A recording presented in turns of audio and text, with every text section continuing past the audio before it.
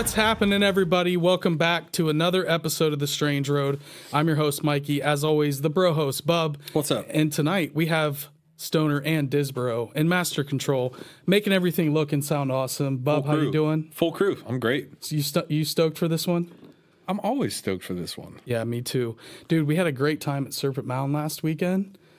Had some uh, folks. Had some great experiences. Yep, some folks came out to hang out. We did our live podcast with Jeffrey Wilson, the Serpent Mound Crop Circle, which will be out. We're not really sure exactly when just yet, Yeah. but keep a lookout uh, lookout for that. We did some recordings some, of some awesome presentations. Uh, hung out with Cameron and Liz. Born Not to Run Yeah. came out and hung Yeah. out. Saw some saw some people that actually listened to the show Yep. and gave us some feedback and Yeah, had some Mike interaction Downer. and Yeah, it was great. it was such a, lot of good fun. time. So- Also, saw a rare thing that I thought you and Stoner were just off on one. I was like, lightning bugs aren't different anywhere. Oh, dude, We saw synchronous lightning bugs down there.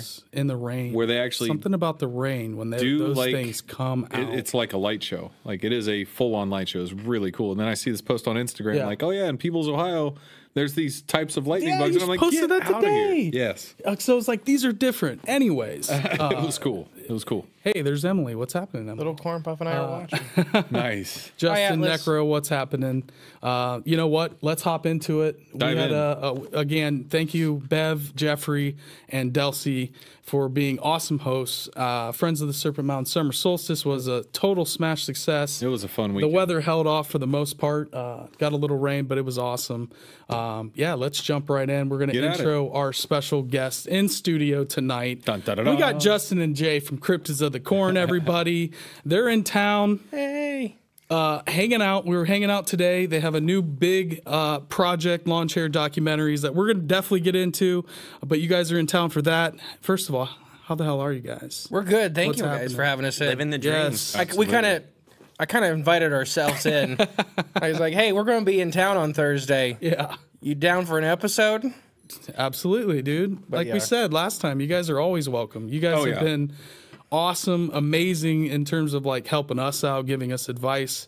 Uh, you know, we stayed here hours after the first time we did this. Oh, gosh, and, and you guys We got- chatted. We got home at like three thirty in the know, I morning. felt so no, it was awesome. We totally like- should have just put you up at a hotel or It was something. fairly. It got late. we weren't planning on any of that. You know, it's just how it happens. Did we get pizza too? Yeah, we Yeah, got, we got two pizzas. we didn't order pizza. We didn't order pizza till like midnight. Yeah, that's hilarious. Uh, but this is my favorite studio to be in.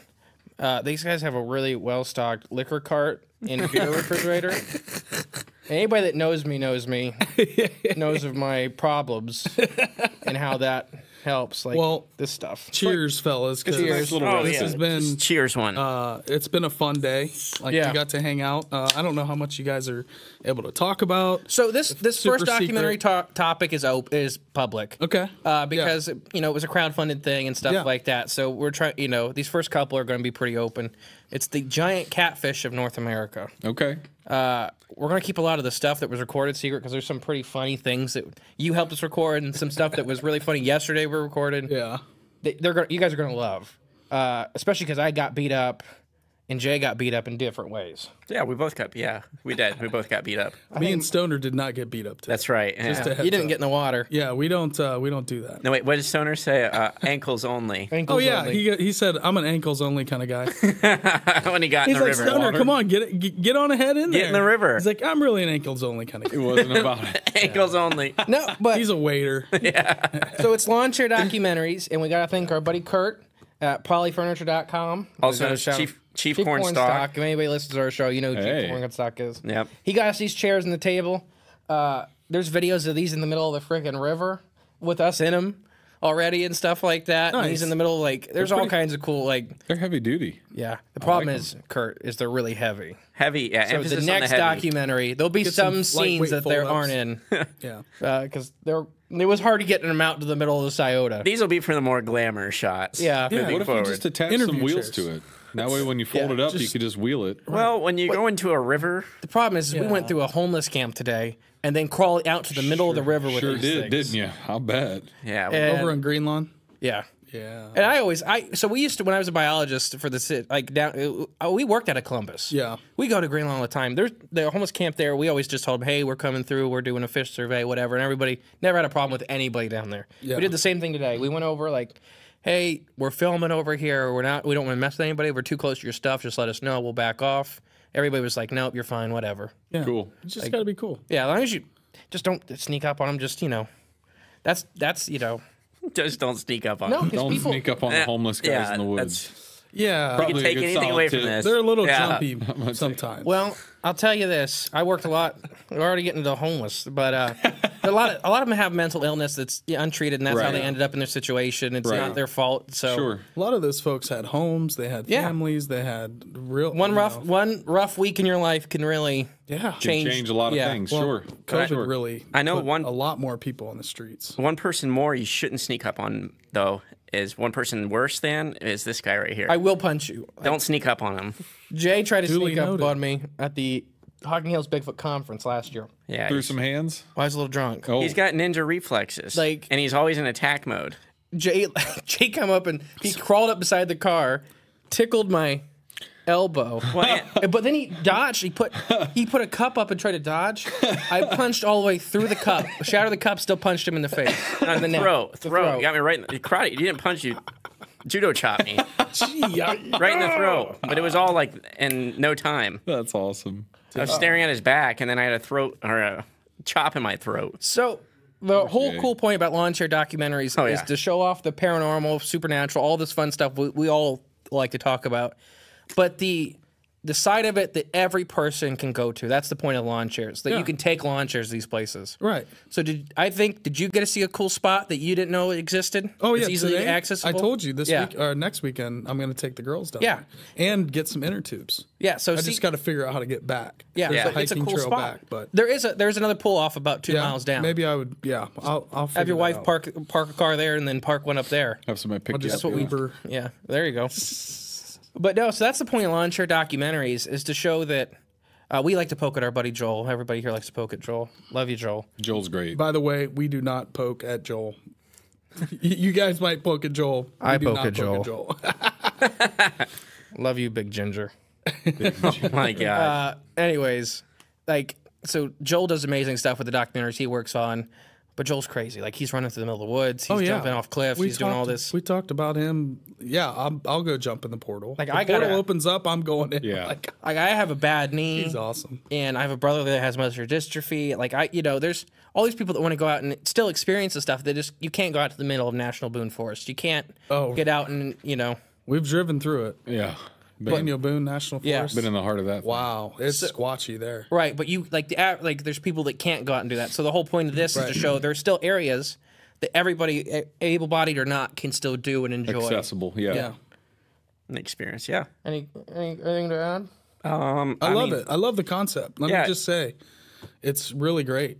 It's nice just you know it, being able to include everyone that just to something that they didn't know is right beneath their Yeah. nose this whole time. Right. So that's just kind That's of the kind of been our of podcast journey too. Yeah. It's like we found stuff like, I mean, everybody knows we're going to do this one, but the Willard UFO is in Ohio. Like this crazy UFO encounter that happened in Ohio, and there's going to be a lot of exclusive footage with that one that we have permissions for. Oh, cool. Like uh, somebody had a VHS or something like that. back Can't talk about that, Wow. but maybe some right. really cool interviews and stuff like that. But you know, and it's through the podcast. Literally, a guy that we know, because he'll probably be in that documentary, I imagine. Yeah. I don't want to say it unless you want to. I don't. I don't say his name yet. Okay. Okay. Uh, but no, so he listens to podcasts and he's like, "Yeah, I know the guy that works. I know all the guys that worked those years at the dump because the UFO was landing and taking off out of the dump. Oh. right next to his house. He's like, I know all those guys. You want me to see where I can hook you up with with them? And he did. That's amazing. And yeah, so Small we got world. some. Yeah, You guys have interviewed those folks already. We're, no, that's our next one. Getting Okay. ready to. You got them lined up though. yeah. That's amazing. Good job. And then I think we can spoil one more. We'll save some of the other ones. Okay. Yeah. Don't give away too much. Uh, but hyenas. That's one of our more popular episodes in the last recent months. They're is the, the hyenas of North America. There's hyenas right. in North America? Yeah. Why? Why? Why? Well, if you listen to episode You don't know the episode. number. Why? season three, Why, episode Wayne? 34. 40, 34, I think. 34. 34 what? I don't know. episode 34, season Oh, 3. okay. Something like that. I have no idea. Emily, look it up. It's 40, So, 40 but, okay, something. back to that. Why? Why are there? Why Wait, not? hold on a second. Well, I mean, where'd they come I- from? Was just You're obviously exotic, they- do you they- don't li- they don't listen to our show. exotic pets? I, dude, just there's picking. a lot of shows. Podcasters don't get to listen to podcasts. It's I don't listen to my. I listened to my own podcast the other we day. We used to listen to. a lot of podcasts. We don't That's listen what- to as many now. No. I hardly listen to any. No, so hyenas in North America are a really cool thing. Uh, they're seen all the time. Uh, we actually had a listener reach out to us with an email. Actually, we've got some really cool episodes that where listeners will reach out and they just have like a little glimpse of an encounter Yeah. Okay. of something biological. Like, I know it was a hyena, is what I saw. Here's the intersection I seen it on. Here's the city, the state, and then it's blown up. Like we done the research, and it blows up, and there were hundreds of people seeing hyenas. And Okay. then, Well, I mean the the great the grasslands. Where did the was population of them come from? It was like a savanna. So- so there were a lot of African type. Like there were weird hyenas are a little specialer than that. Yeah. They're not indigenous to the North Americas, are they? So Probably back. Like I said, guys are being Jays right now. Jay. Ruining the end. Oh, you ruined it. But no, it's everybody loves Jay because he does that. Uh, no, so hyenas. Are, so we have two, we have spotted and striped hyenas left today. yeah. There's a Europe. There's also uh, brown hyenas. Uh, there's some arguments about that. There was a European brown hyena just went extinct recently, like last 500 years. Uh, so that was in all Europe. Uh, they were in England, but they killed everything off in England a long time ago. Good job. Uh, but I mean, yeah, they didn't want anything that had teeth. They just got rid of. Right. so in North America, relatively recently, talking geologically, there were hyenas, real close cousins to the brown hyena. They're pretty. They were. They look kind of like striped hyenas, but they're you know a little bulkier. They just went extinct uh, once again, relatively recently. Hyenas, we get this whole image of them being dumb predators, being goofy, being loud.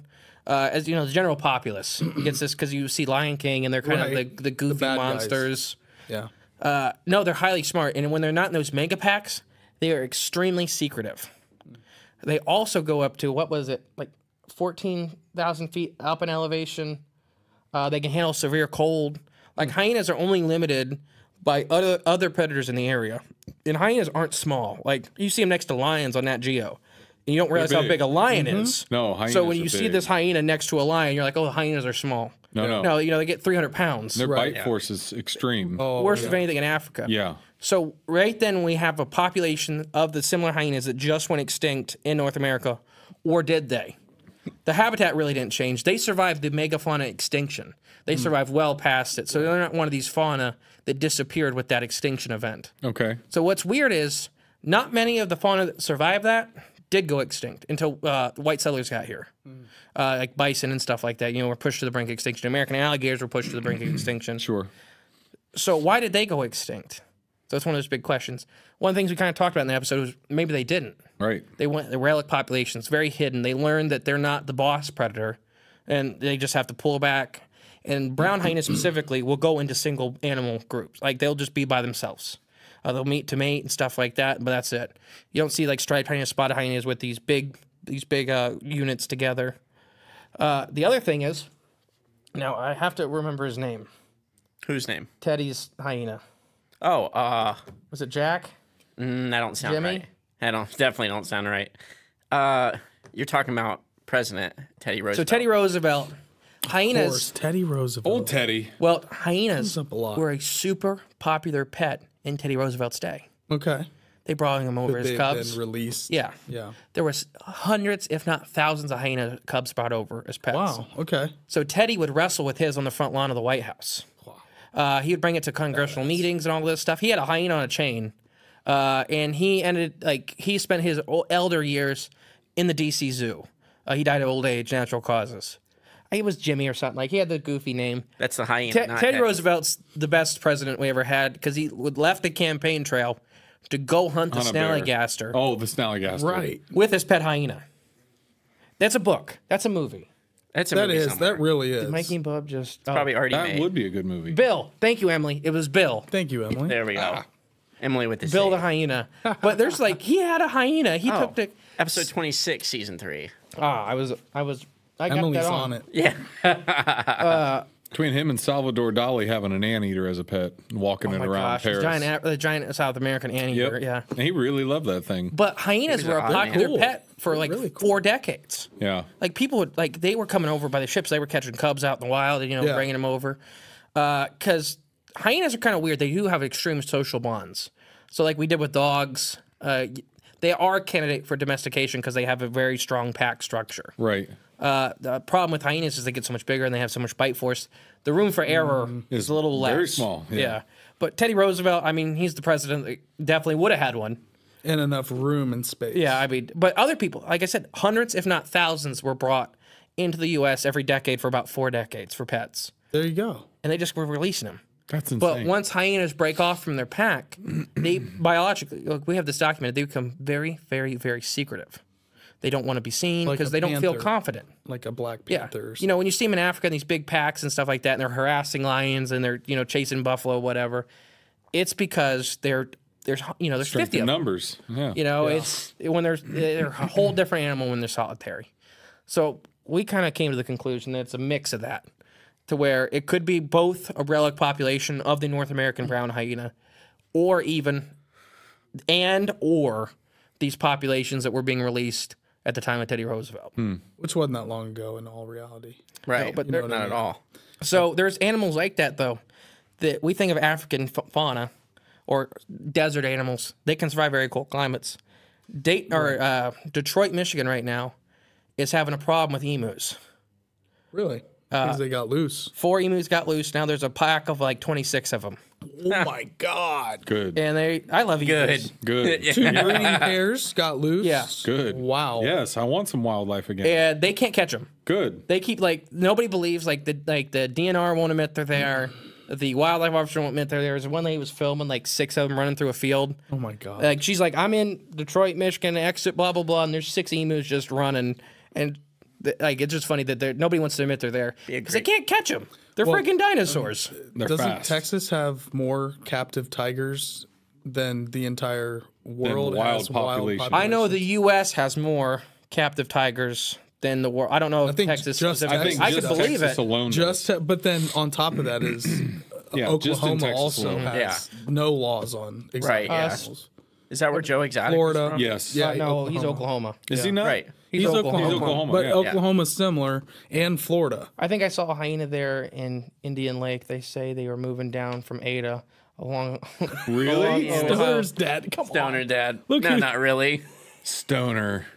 Down from Ada, Ohio. now we did have a zoo in. Ada, Ohio. Did you see the uh, recent article though? It was like uh, maybe it was on Twitter that in uh, Franklin County they spotted a black bear, like the Three Creeks Metro Park area. Three Creeks. We were, I was telling you guys about that. It was today. laying in like somebody's Three Creeks, driveway on their the ring big, camera. The big walnut. Oh, decent okay. sized black bear. They're black bear. Black bear north of us, south of us, and supposed to be here. oh no, I know. It's, just it's one of those things we don't hear about. Right. You know right here. The DNR acts like they don't exist in some areas. right. Same with mountain lions. Like we had, so here, I think we talked about it last time we were in here. That there was a mountain lion, a trackway that was like five miles long along the side of the bank, all the way into Columbus. Oh really? Yeah, like five miles worth, Wow. Prowling it? and everybody said they were fake. Uh, no. Yeah, no, Well, we talked about the Black Panthers and truckers seeing them around Oh, yeah, and- Urbana Oh and yeah. stuff. Oh yeah. So Yeah. I'll tell that little story. Sorry, I'm talking a lot already. Oh, Uh, you're good. when That's- me and Emily were in the dorms and in college, there was a black bear trying to break into our dorms. It was trying to pull at the like pull the door open. Where'd you go to Hocking College? Yeah. Yeah. And then some lady seen it get in the dumpster and thought it was a dog. oh God. And she's out there going, get, you know, trying to Oh, whack no. it, get, get, get. Then finally she gets like, it's only like an 80 pound bear. You know, it's not, you know, it's not a 200 pound black bear. It's like a, you know, a two year old. Finally she realizes it's not a dog and then takes off running. oh my God. I would have ran too. It's a bad day. I, yeah. Yeah. You just gotta punch it. It's a black bear. Okay. yeah. Jay, get out there. Just punch bears. I was scared of the crawfish today. You're throwing crawfish at my chest. But I was getting pinched by him. yeah, I don't. I don't want to. oh man. How big? How big were they? There was one really big one in there. And they were pretty decent Good size? size. Yeah, did Like, you just see Jay show like that? They were like big. That's a friggin' lobster. Hey, six inches. They were this. They were big. People say I can't measure. Crawfish are good. It's a joke. It's, it was a joke. I got the joke. Okay. Yeah, crawfish are good. Bald people just can't measure. Oh, Bro- broiled crawfish. Shoot. Oh, but yeah, that's the. I just don't want them thrown at my face. That's We just did another my only one. issue. Should we tell them about the shoe bills? What about them? Oh, I love shoe bills. That's that's wait. the bird that I was trying to remember. The shoebill stork? Yes. Yeah, Yeah, those, weird dinosaur creepy looking, bird. looking yeah, dinosaur. They make their thing. beaks clack like a machine gun. Yeah. Like they have some weird ticks. They're highly endangered in Africa. I believe it. Uh, they have two keystone species they were only found with in Africa. They live in like the Congo, right?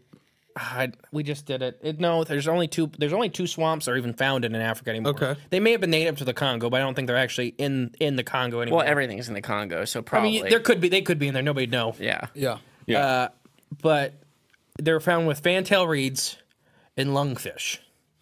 So that means the reason that is because they breed in the fantail reeds. They use them to make their nest, and the lungfish is their favorite prey uh, in Africa. So they're only pretty much found in places that have both of those species already occurring. Uh, they're really big. Every- Everybody's seen videos of them. They clack. They're highly sociable. They mate for life. They do all this stuff. They take the both parents put a lot of time investment raising chicks. They put their nest out of the way, and they're super secretive as far as large birds go. So we had a lady, Jen. I don't know if you're watching this, but uh, she reached out to us and just shared a story she had. And it was a, mm, it was like a Tuesday morning. Literally, we're getting ready to record, like really early. And she's like, I just had this encounter, and she's like, I'm pretty sure it was a shoe bill, and it was in Florida. the no the Sandal Islands. Oh, okay, okay. Uh, that it, we get to Florida, Right, that's after. and I'm like, okay, yeah. She's like, we just look into it, see what you find and stuff like that. I'm like, yeah, sure. I start looking into it. I get in a rabbit hole and I write a whole script and everything that morning before Jay gets there nice. because it's not just her. Shoe bills. Anybody ain't seen one. They, Emily, you're funny. My wife's in the chat. Everybody's screwing with me. Are they better Uh, parents than both? No, nothing's a better parent than a bowfin. That's a pretty deep cut, like Uh, reference. What are they saying now? She now she got me all thrown around. Florida shoebills. Uh, so anybody's ever seen a shoe bill? They're very distinct. Yeah, They you're don't look like other that. birds. No. look Unlike like sandhill dinosaurs. cranes and like all those birds with these big Size long, alone and the beak size. they, f- five to five and a half foot for the Right. big males. Uh, females are you know more at Their four foot. heads are just enormous. They look like clogs. They look like Yeah. they have wooden clogs for faces. Look like right. a Skeksis.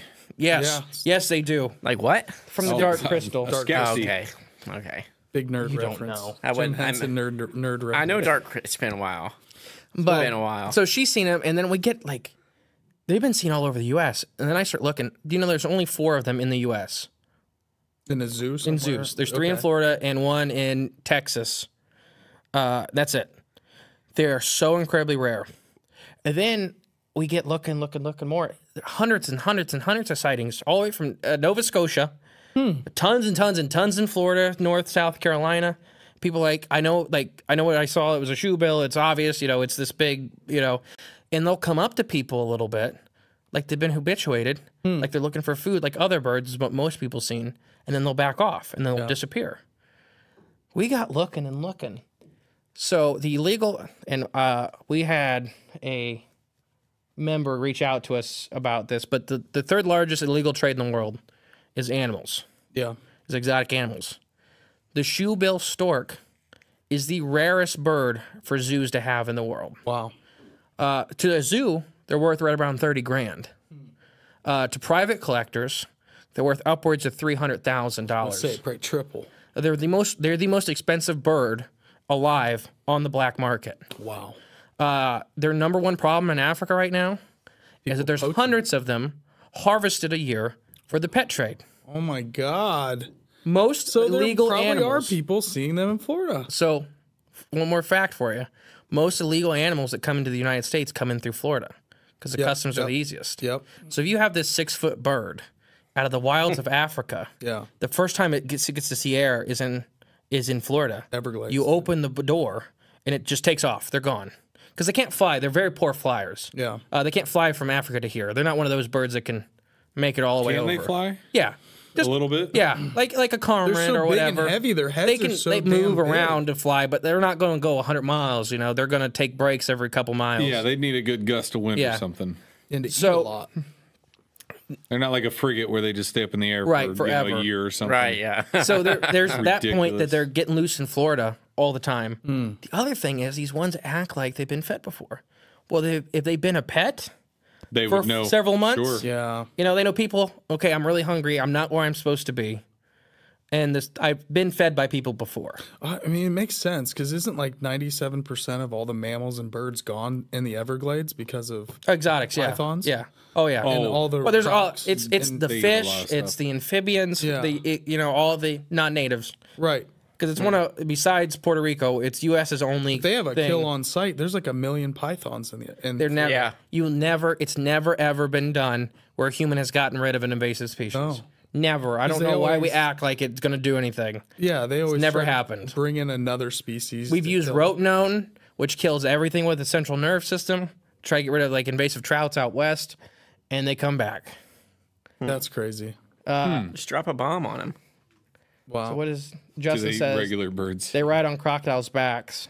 Yeah, so we we attached that in because we did oceanic crocodiles the week before, and oh shoebills eat crocodiles. They eat small crocodiles, but they like to eat crocodiles. I don't crocodiles. doubt it, dude. Those things look like murderers. Uh, search that. What was their wingspan? Do they eat regular bird seed? I doubt they're you know going to eat what? regular This could be a great Q and A episode. That's a great Sorry, question. I'm not used to great. seeing big. Like it's just Yeah, easy. any Do question? they No, eat go regular it. bird seed? No, I That's a believe- good question. What do you think? Their wingspan's By the way, like around Stoner's dad, big bird guy, photographs birds, and Ooh, Uh, go to uh, go to the coast. from Indian Lake. really? Yeah, oh yeah. so f- here's one for you, Stoner's dad. Does, what's his real name? Stoner's Neil. dad. Here's one for you, Neil. When I was in college, we were doing. We had to go get up early, do bird work. Like I have to identify birds by the calls. We go to Lake Logan, which is south uh, east Ohio. We get there and there's hundreds of cars parked everywhere. Like it's five in the morning. Nobody's ever there. We're, we're the we have to be there because we have to do this class. And what had happened is a neo neotropical cormorant, which do you guys know what a cormorant is? I know the name. I don't remember. So what bird you ever looks seen these little black birds that kind of look like pelicans? They have the yellow chin patch, but they're like that big. Yeah. So that's a cormorant. Okay.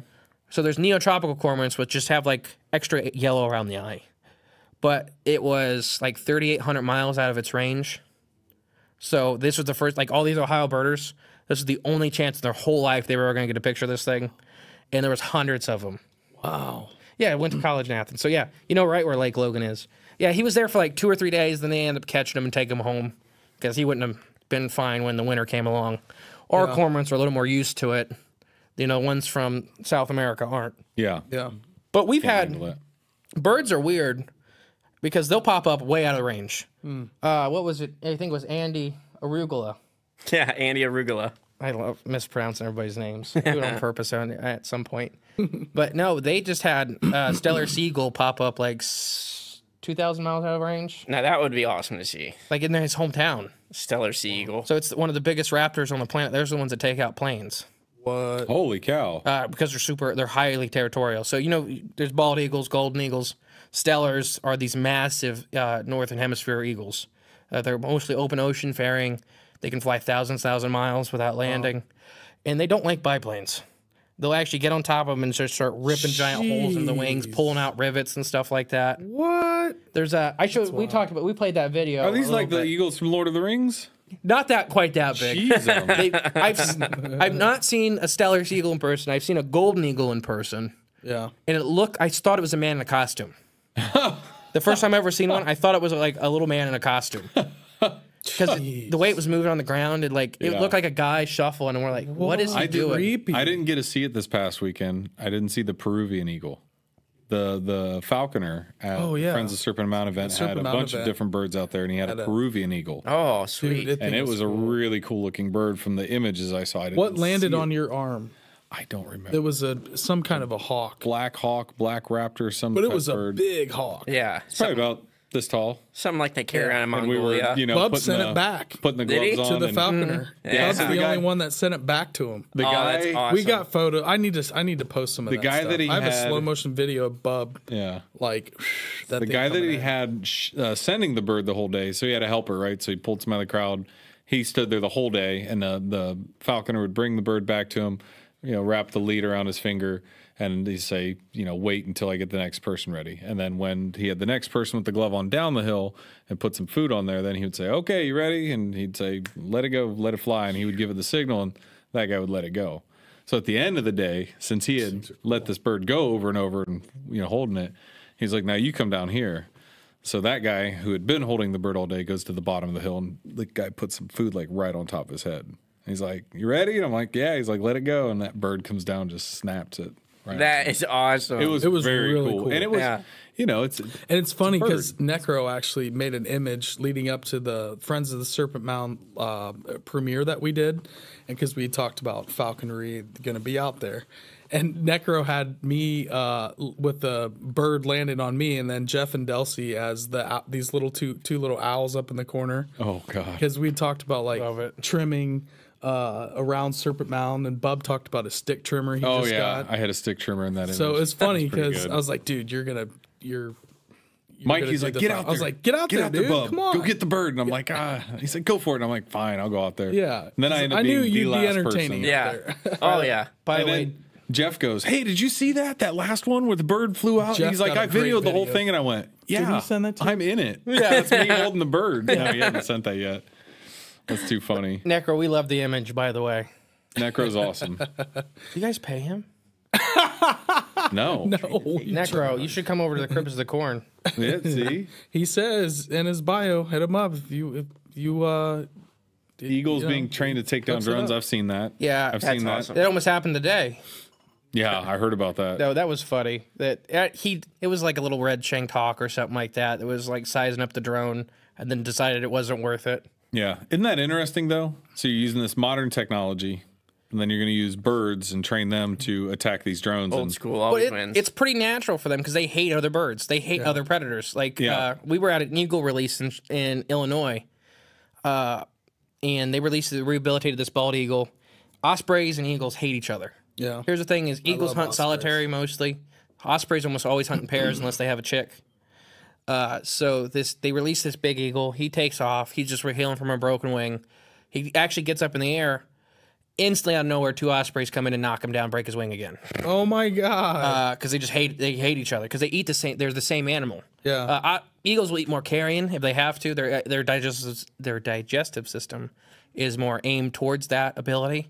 But they're both fish eaters. They're both that's a main source of their diet. They're hanging out in lakes Yeah. and rivers. So and stuff. ospreys will take any chance they can to take out an eagle. Jeez, 'em. One osprey versus one eagle, eagle will always win.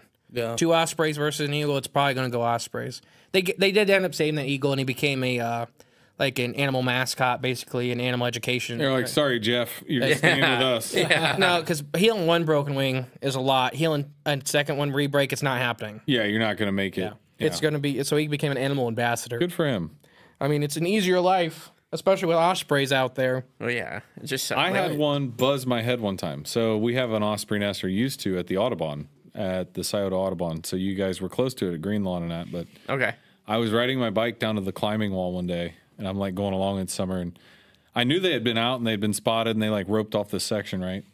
So I'm going down this hill, and as I keep going, I like could hear it go over me and cut the air because like it just went silent. It was like, and I could couldn't hear the rustle of the wind anymore for a second. I was like, what the heck? And this thing went right over the top of my head. There's a rabbit like eight nine feet ahead of me, and that thing comes up and just kicked its wings up and like dove. I just saw like this this poof A fur. of everything. Yeah, Yeah. just grass, weeds, flowers, and then bird feathers, and this thing just snaps it up and it was gone. Wow. But it was a big bird. Like Yeah. when it came over me, I was like, that is massive. And I was just like, I couldn't understand what it was doing. And then I saw the rabbit, I was like, oh, this is gonna get interesting. yeah. and it just in an instant, man, Right they in are, front of you. They are like surgical. Oh, yeah. hunting. Nobody, don't ever release your pets. I've had to kill many of them, but some of my favorite videos are when people release like their hamster or their mouse, and like they're releasing it in the field, and like ten seconds later, there's like a hawk swoops Snatches in or a it peregrine falcon. And they're like, Yeah. no. Uh, It's like, what did you expect? You released a white mouse into a grass field. Uh, it's It's, it's, a target on its back, yeah. Instantly. So we were in Chicago surveying. I don't know how we got talking about birds. This is, this is what we Oh, do. we were on tangents. Storks in Okay. Florida, and Yeah. We're in Chicago. We're under a bridge. So when we would sample, when we would be done surveying a site, we try to go into somewhere in the shade because we got to sort through all these fish. We got to weigh them, got to ID them. It's a long process. It's longer than doing the site, like actually catching all the fish. right, right. So we try to pick somewhere shady because the Chicago rivers don't have any like tree cover. They don't, you know, it's basically a big ditch. So we are under this bridge, and all of a sudden we just hear screaming and we're being covered in stuff, What? and it's feathers and blood, and we're like, what? A peregrine falcon had swooped in. There was a nest of pigeons right above us, oh my god! and it had swooped bridge. in, and it was ripping this. And they fell into the water, and then the peregrine falcon ended up not getting the pigeon because it's seen us, Yeah. freaked out, swam to shore, and then was trying to dry off. It you know, it was trying to dry off as quick, Those hissing at things are us. so crazy. there. The pigeon just floated down the river.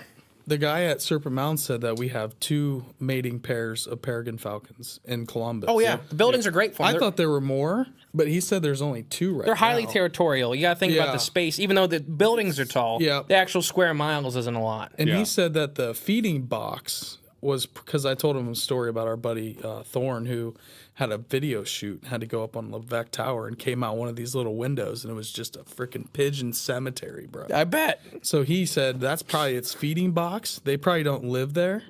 They're They probably live there on to eat. another Yeah. skyscraper. I was like, there. that's fascinating. oh yeah. So here's You'll see him around town. Stoner's dad, Hmm. Neil. There's a ne- uh, there's a nesting a nesting pair on Blanchard Valley Hospital in Columbus for peregrine falcons. Hmm. Uh, yeah, my dad's got pictures because he works at the hospital and he'll go to the room that they're in where they nest against the window. We got a lot of birds, raptors here. Taken. Yeah. Yeah, I I saw mean, a massive osprey It's, in it's the uh, Midwest kind of thing. Oh, we were on a, that little So little trees. island, Tobacco Key. There was a big osprey out there, and it was like just you know when you get in warmer climates too, just it had Like, everything more get- Mm-hmm. color and vibrant, and just the feathers on it was just like it was a very stunning bird to see. Because life's easier. Yeah. You're Well, living close to the tundra. what's the eagle? Is it a Filipino eagle or? If the Philippines eagle, the one that's like blue, like its beak is like it looks like something from Avatar. It doesn't look real. It's like a I s- can't think of it.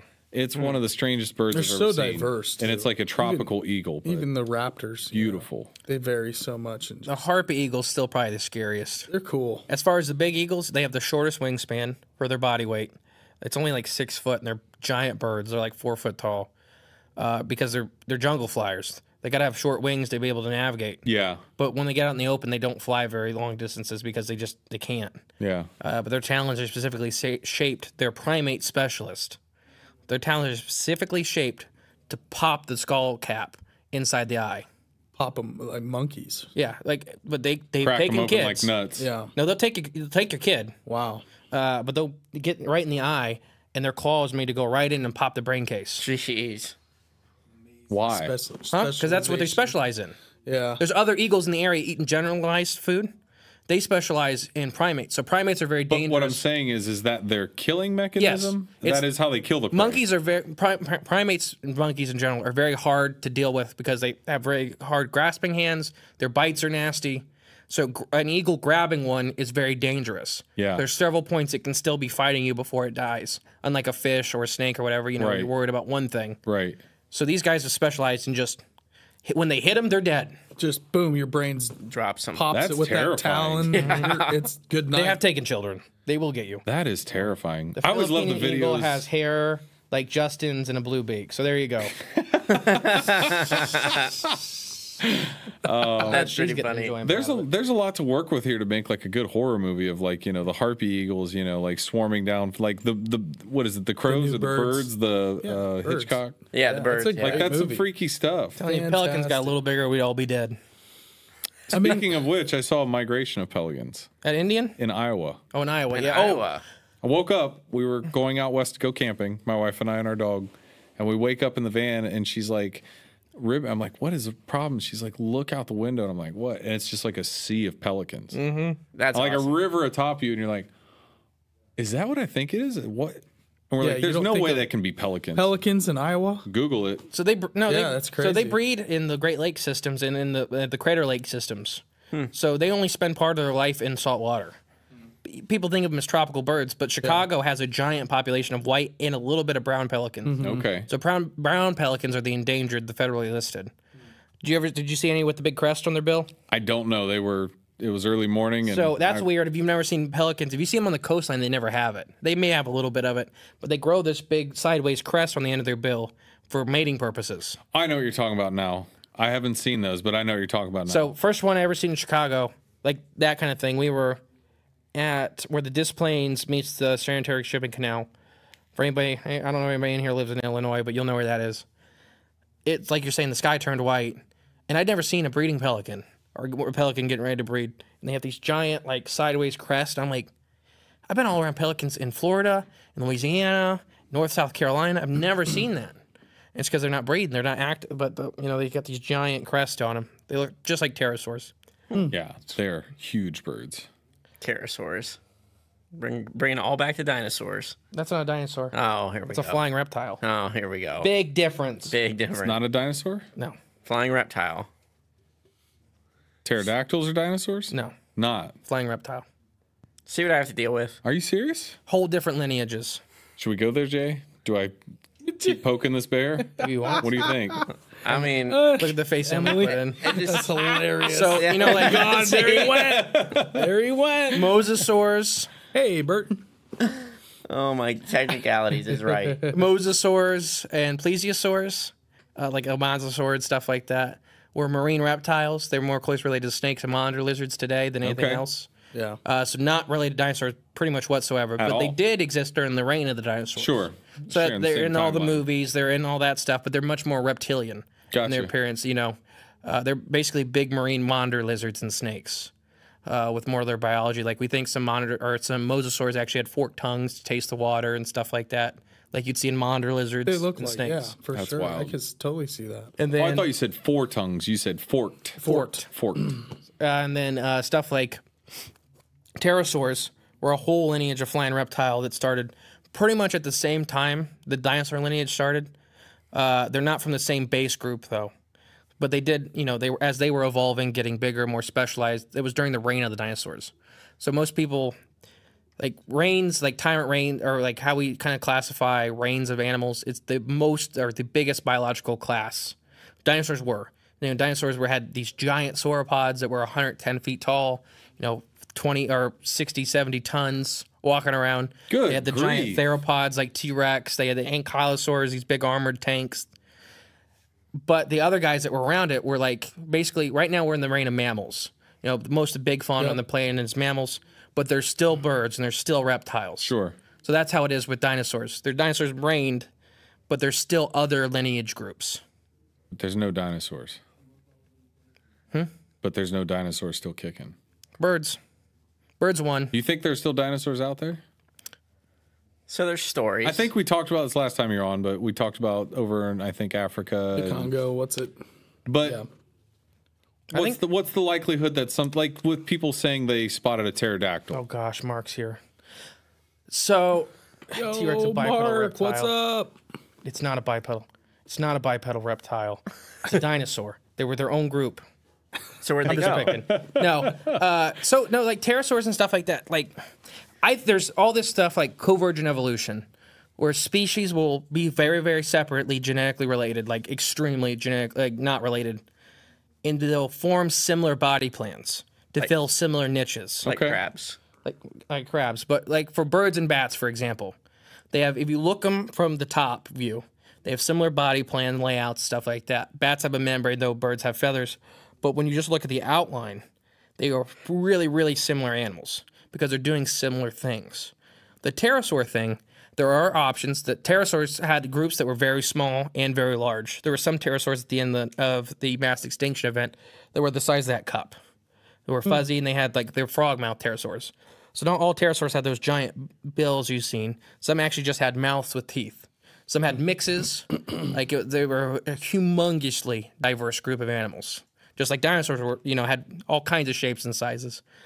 So for pterosaurs' likelihood to survive, they actually do have a little more, in my opinion, likelihood because they had small members present. You know, dinosaurs had some small members, but mammals were sitting in the wings waiting. Mammals reproduced a lot faster. So those niches were being after the mass extinction event, whatever you think it was. Mammals were able to take the dinosaurs' niche immediately. Right. They could breed faster. They had more generations in the. It same was like time a frame. shroot. Yeah. Like we can, everything goes back to like a weird little shroot Yeah. animal almost. But pterosaurs did have to compete with birds. Birds were left. Birds did, were evolved at the end of the dinosaurs' reign, or what we would call a bird modernly. They still had some teeth and stuff like that, but there are still some birds today that can have teeth. Like the egg tooth, for example, was the last. Birds most, with teeth. most birds have what's called an egg tooth. It's the last tooth that uh, most modern birds have, and they use to hatch out of the egg. Get out, yeah. It falls out when they're done. Yeah. But it is kind of still a tooth. Wouldn't that be just a real sick joke? You know, you get born and you can't get out of the egg, That would suck. right? Jesus. Uh, so for pterosaurs to survive, it could be. It really, uh, it, they could have been, but I think it, it's much more likely that something evolved to look more similar to a pterosaur Yeah. than pterosaurs survived all this time. Hmm. Not because I don't think they could have survived that long, that longevity, but there was a lot of competition Yeah. right out the gate that they had had to compete with. Birds, once again, they were breeding really fast. They were really good parents, so they were really hard to compete with. Hmm. So there was all these at the end of the dinosaurs reign. There was all these little animals that were ready to take over. They were all in in the underground, gaps, or yeah. they were way up in the mountains Yeah. where it wasn't affected, like birds. Whatever whatever the mouse you know mass extinction event was, and then stuff like crocodilians. Yeah, They just sat it still out. here, Yeah, But there was stuff like the Prestosuchus. There was like a cat-like crocodilian. It was in the trees. It acted like a panther. Oh yeah, there's all kinds. Baurusuchus was a giant terrestrial crocodile that chased down dinosaurs to eat. Whoa. So crocodiles didn't survive like all of them. Very few lineages of crocodiles survived the mass extinction event. The ones that could not eat for a year and be fine. the ones that could sit in a hole. I feel like those crocodiles saw the ones leaping around on land and were like, you know what? I'm just gonna like Homer Simpson back into the bushes here, like, you know, just dip off into Back the into the ocean. so here's a question: Where did all the mega crocs go? Why just- did they die off? they couldn't. There was no food for them for an extended period of time. Really? So that's why it's a mass just- extinction. Those guys were dinosaur specialists. Oh, like okay. Deinosuchus, the sixty-foot crocodile, Yeah. had to eat really big animals to Yeah. survive. Even though it was eating them not regularly, like it was taking six or eight months off. After the mass extinction, they're not there. There's just like They're nothing just for yeah. it. So the next biggest thing's the size of a dog.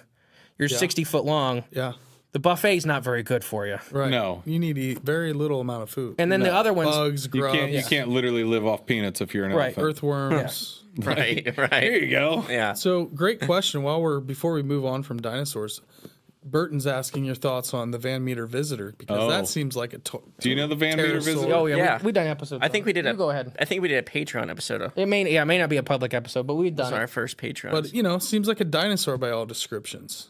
yeah, and in a sense, we we think it's we speculated it was a deep uh, inner Earth like Oh, or yeah. cave system What creature. was in the cave is where it retreated Well, to. that's what we kind of got into when we were having that discussion with Jeremiah. Jeremiah. Yeah, because it has that big um like the horn. the horn that lights up. shoots I mean, laser beams and right out of it. However, they desc- I mean, that's just what their descriptions. What they were Who knows what that could actually be? be? yeah. Yeah, I you think it was living in the caves? Perhaps that's what we. Per- if it was a Well, biological it ran into the cave and never came back out. exactly. So and when they opened up the cave, that's when they first saw it. The brick plant was op- accidentally opened the cave system up, mm-hmm. harvesting stuff materials for the bricks. Yeah, And then- yeah.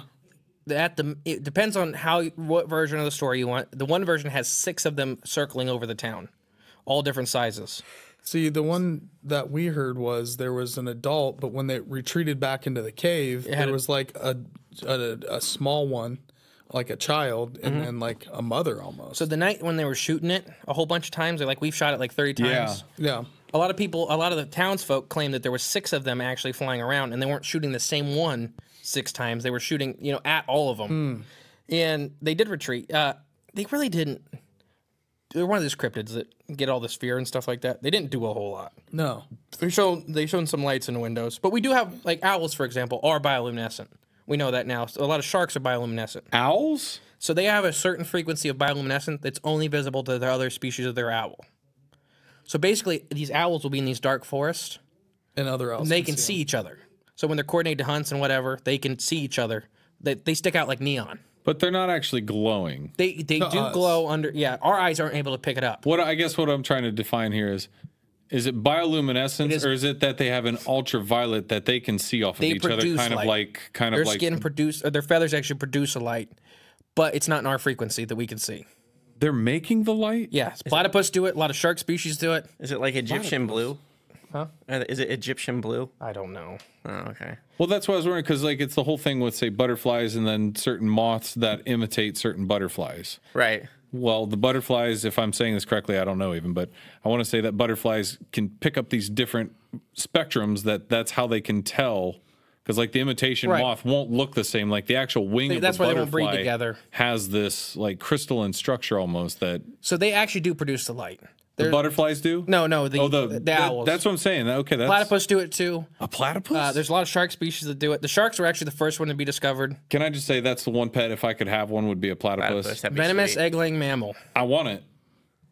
There you Well, go. sign me up. Where's Mono, that at? monotremes. They're the last uh, one of the last two monotremes. Yeah, where can you buy one? It's, it's, You can't. Say that Come again. on. Say that word again. Monotreme. When what does that mean? Egg-laying mammal That's all it means. Egg-laying They're, mammals. they're, they're lineage. They're a group of animals, them and echidnas, were early, early proto mammals, basically. So they hmm. were like the first thing moving from reptile to mammal. They look Warm like- blood, milk. Yeah. They, used to lay in eggs. They look like what I would have made in the first five minutes of getting my Play-Doh set as a kid. Yeah. Like all different colors of Play-Doh and every different animal part, or like those etch a sketches where you could put different clothes together on people, right? You want a CRISPR machine. Yes. That's what you'd make. So but platypus. are- Straight out holler. I think somebody, I think it was born not to run. I don't think you can't May have have one put on there- Can you? A Uh, why does a He cave says no, creature have wings? You're not allowed. I guess. No platypus. no zoos in the U.S. have them. Oh, okay. No zoos. There's actually no. That's that's wrong now. Like San San Diego or something actually has one. It's the first one in the U.S. in a long time. They're really endangered.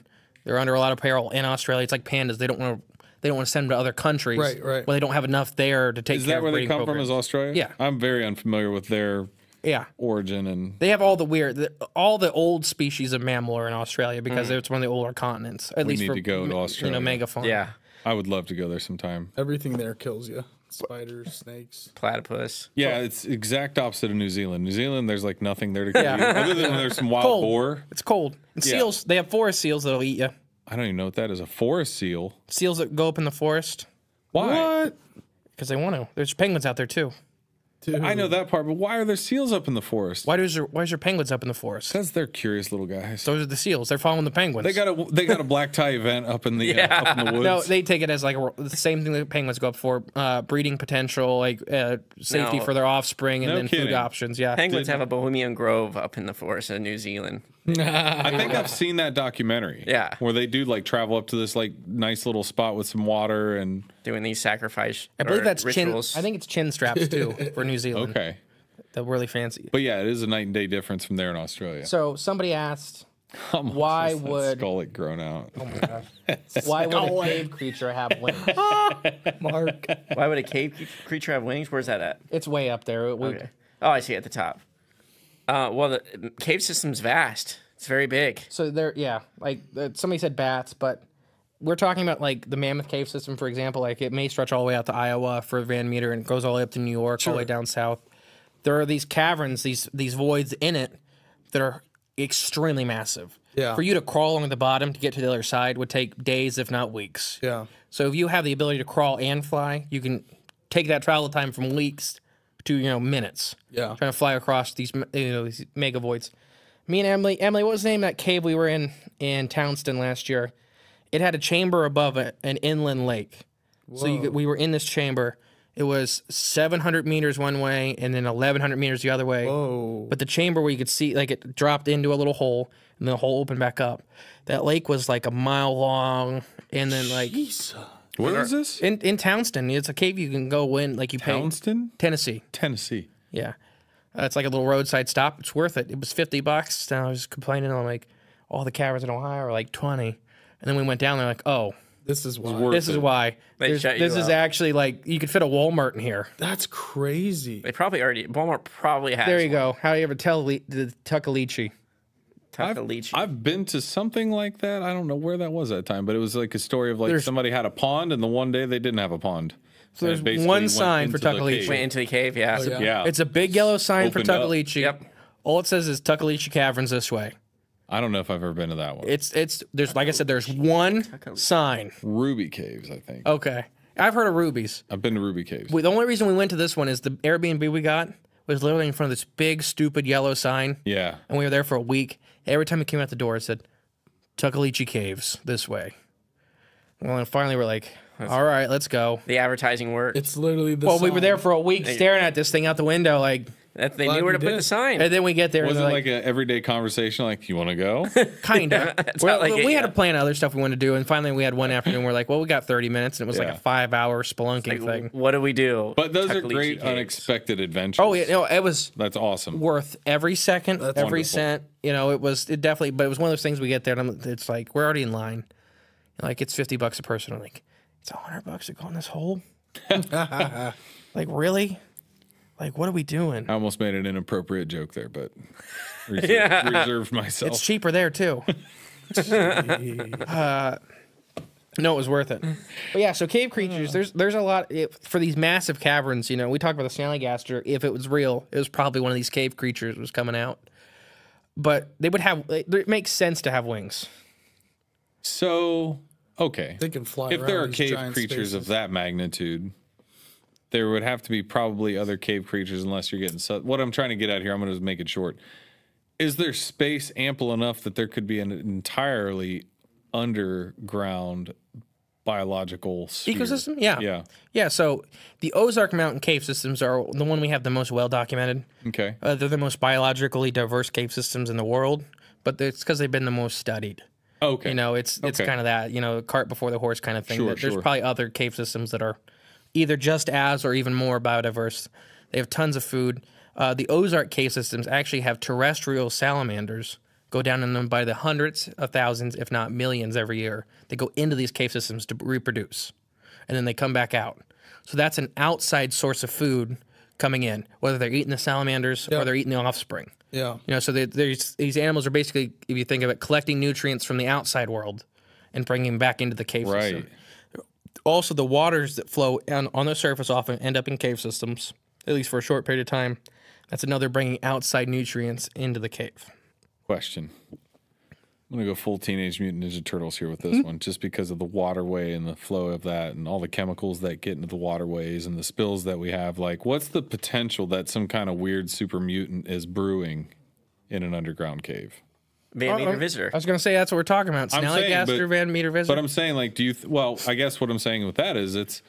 I'm thinking cryptid Yeah. or cryptid, maybe unexplainable, not. But this I'm saying is more of an explainable. Like we're creating the cryptid. I'll leave the other cryptids that I can't figure out where you came from necessarily, but. Or unless maybe you think that's a possible genesis point for them. No, I think they're they're evolving in these cave systems, and like for the Van Meter visitor thing, they cracked into this cave system. A couple of these animals came out, did not like it, got shot at. It was a scary world. Went back in, and some of the stories for the Van Meter visitor is they covered back up the hole after the last couple went in, Oh, because that brick factory closed down, all that. Uh, so I think that like we talked, you know, we did the Arkansas giant killer centipede for our, our Encounter Quest documentary or our speaking point, and that's a similar thing. I think that they're living in these cave systems in the Ozarks, and every once in a while one comes out. It doesn't ha- it does not like it, goes back in. You know, it's a cave animal. It's specifically designed for that. Same I with this could definitely buy that. Snallygaster would come out. Of, they were said to come out of caves like every 23 years, and it seemed like a reproductive thing because people would find their eggs everywhere. Not anymore. You know, this is 17, 1800s when people said they'd find, you know, like softball-sized eggs everywhere. After seeing what was essentially a dragon coming out of these caves, what'd they do with these eggs? most people ate them. You son- Keep in mind, it's 17, 1800s. Food is food. Yep. Meat fell from the sky in the 1800s. They Didn't started we eating it. didn't we learn how to grow maize and all kinds of other shit? You got to eat these things too. Still hungry. God, But to, damn. to answer your question, tell them about the fish that you found with. I think we told you today when we were out the river Oh yeah. Oh my god. how fish are, they're changing due to pollution and things the antlers. coming out of the eyes. Oh, um, There Oh. God. I was like, what are you Yeah, talking Bob, about? I don't know. This. Is- This, is is this- crazy. This might keep me up at night. Yes. Is this weird? Yeah, it's horrible. But it's true. Uh, w- I gotta Quickly, think- Burton, to answer your question, we're very close on the merch. Don't portal. eat it. Let me let me think about that for a second, Jake. 'cause So I'm not sure if I'm close. allowed to talk about that. Mm, gotcha. Uh, you put me on the spot, and I may not be able to. Oh no, talk. don't worry about it then. Okay. Uh, either way, Well, I'll tell you off air. That's fine. can I There may a- be an NDA involved. Can I give him a, a layman's version that doesn't involve? Wait, if I tell it, there's I didn't sign no NDA. Yeah. Jimmy, So, Jimmy so there's this guy we know that, uh, well, basically was Oh, gosh, pulling up, you- was fishing, I'm grabbing a beer. I'm getting off camera for was this. pulling up these fish that had tumors growing out of Jay's their eyes. close that up. was like big, like antler like coming out of their eyes, and, and they were even attached. From what I heard, they were attached to even the muscles on the eyes. So when the eyes would move, Shut up. these things would move with it. Yeah, Yeah, dude. But um, Grab me one too, bud. it was in an area where people were actively swimming and stuff and but it's plant or chemicals from these companies, you know, corp, you know businesses. What in was the it? surrounding area. Selenium, right? You said Um, it was selenium. I forget what I heard. Yeah, forget it was, what I was. uh, from what I heard, Yeah, it it was was. selenium. and it, poisoning. getting getting into the water. They were system, causing yeah. these insane tumors that turned into basically eye antlers. Yeah, and all the on all the fish there, but only certain kinds of fish. Only uh, I believe it was smallmouth bass. Largemouth bass were all fine there, but all the smallmouth had these That's so weird. protrusions. But that's why I asked when you said you got in the water. I was like, man, I don't. I'm sorry, but like, Thanks, buddy. I, river's fine. I don't think I'm getting in any river. No, no, he said today the Big Walnut and Darby Creek are super clean. Big Darby's amazing. I'm gonna take my kids to it. Okay. In two weeks. It just I freaks me out a little bit. I don't need to grow like a prehensile No, tail or is a- like you know some kind of like different tumor out of my. It, you got to Forehead. depend on what water. So uh, Scioto River scores excellent all the way up to Green Lawn. All right. Now there is trash. That's different. Every now and then there's bodies. That's different. That's fish food. it's different. The fish, the giant catfish will eat that. Yeah. Uh, Born to Run says twenty two. Was it? It's twenty two bucks a ticket. I swear it was fifty last time we were there, but that was two years ago, three years ago now. For what? You got oh, to robbed. go into the cave. They did. They Maybe got they you. lowered it. War not to runs gone there. They were scouting you out the whole time. He's, he's reading the sign, guys. He's No, reading the sign. We're seriously gonna like- get him. our And group- right when you rolled up, they jacked the price up. No, our That's group was fifty people. Fifty people. Yeah. No, girl. Justin, it was 22. They made bank that Okay. day. I drank a lot, so I'm not going to argue anymore. This girl said it was a Simpsons fish. yeah, yeah, oh, there you exactly. go.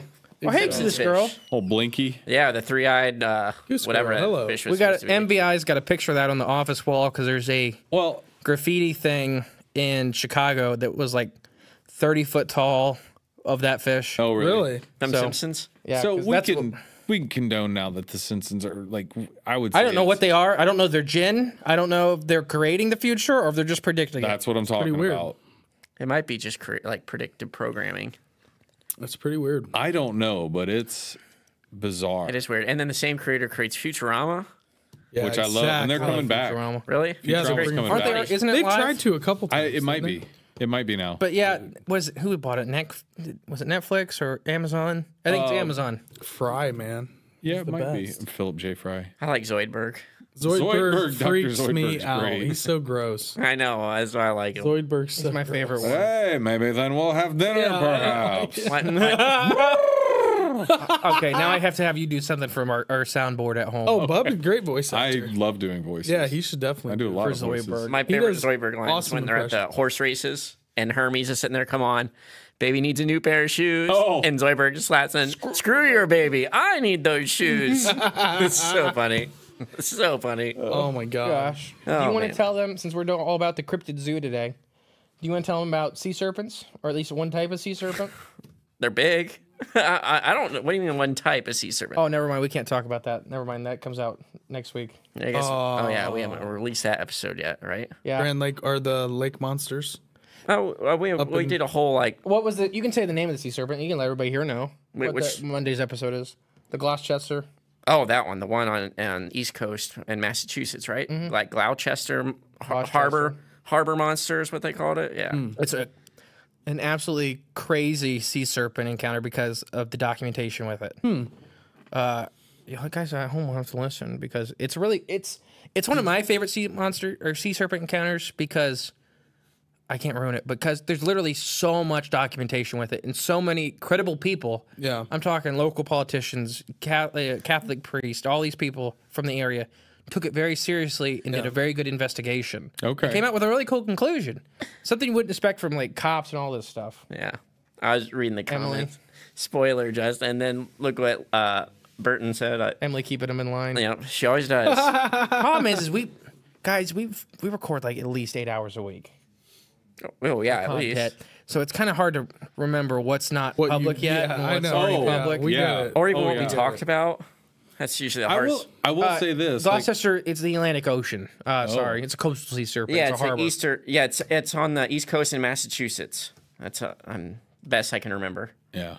I will say when people tell me like, uh, okay, I'll tell you this, but like you can't repeat this. Like I listen, but I don't commit it to memory almost. Right. Bub Yeah. doesn't remember. So I'll take it in because if I put it in my memory bank, it's coming out. Oh yeah. So I have stories in there that I've forgotten. That's my problem. Needs. so I can filter them, but it, it, it it's at a price to where it literally goes through my head and I just don't hold on to it. So What's another cryptid animal like for the cryptid zoo? Well, we went over the hyenas, We What about did the Nundy? the Nundy bear. Yeah. Well, that's Af- is that Africa? Yeah, What is that like a member berry? Um, yeah. Do you remember? Do you remember? Nundy bear. What are you? Wow. You don't My remember? Brain just what? You don't You guys said a weird word, and you said a weird word, and I'm in the middle of it. Uh, the Nundy bear I remember. is an episode that I hate because I I did a nice script and I was uh, so tired because it was our first week with Atlas. Oh, So I was so tired. I hated the episode, but we had to publish it because we, we were out of backups.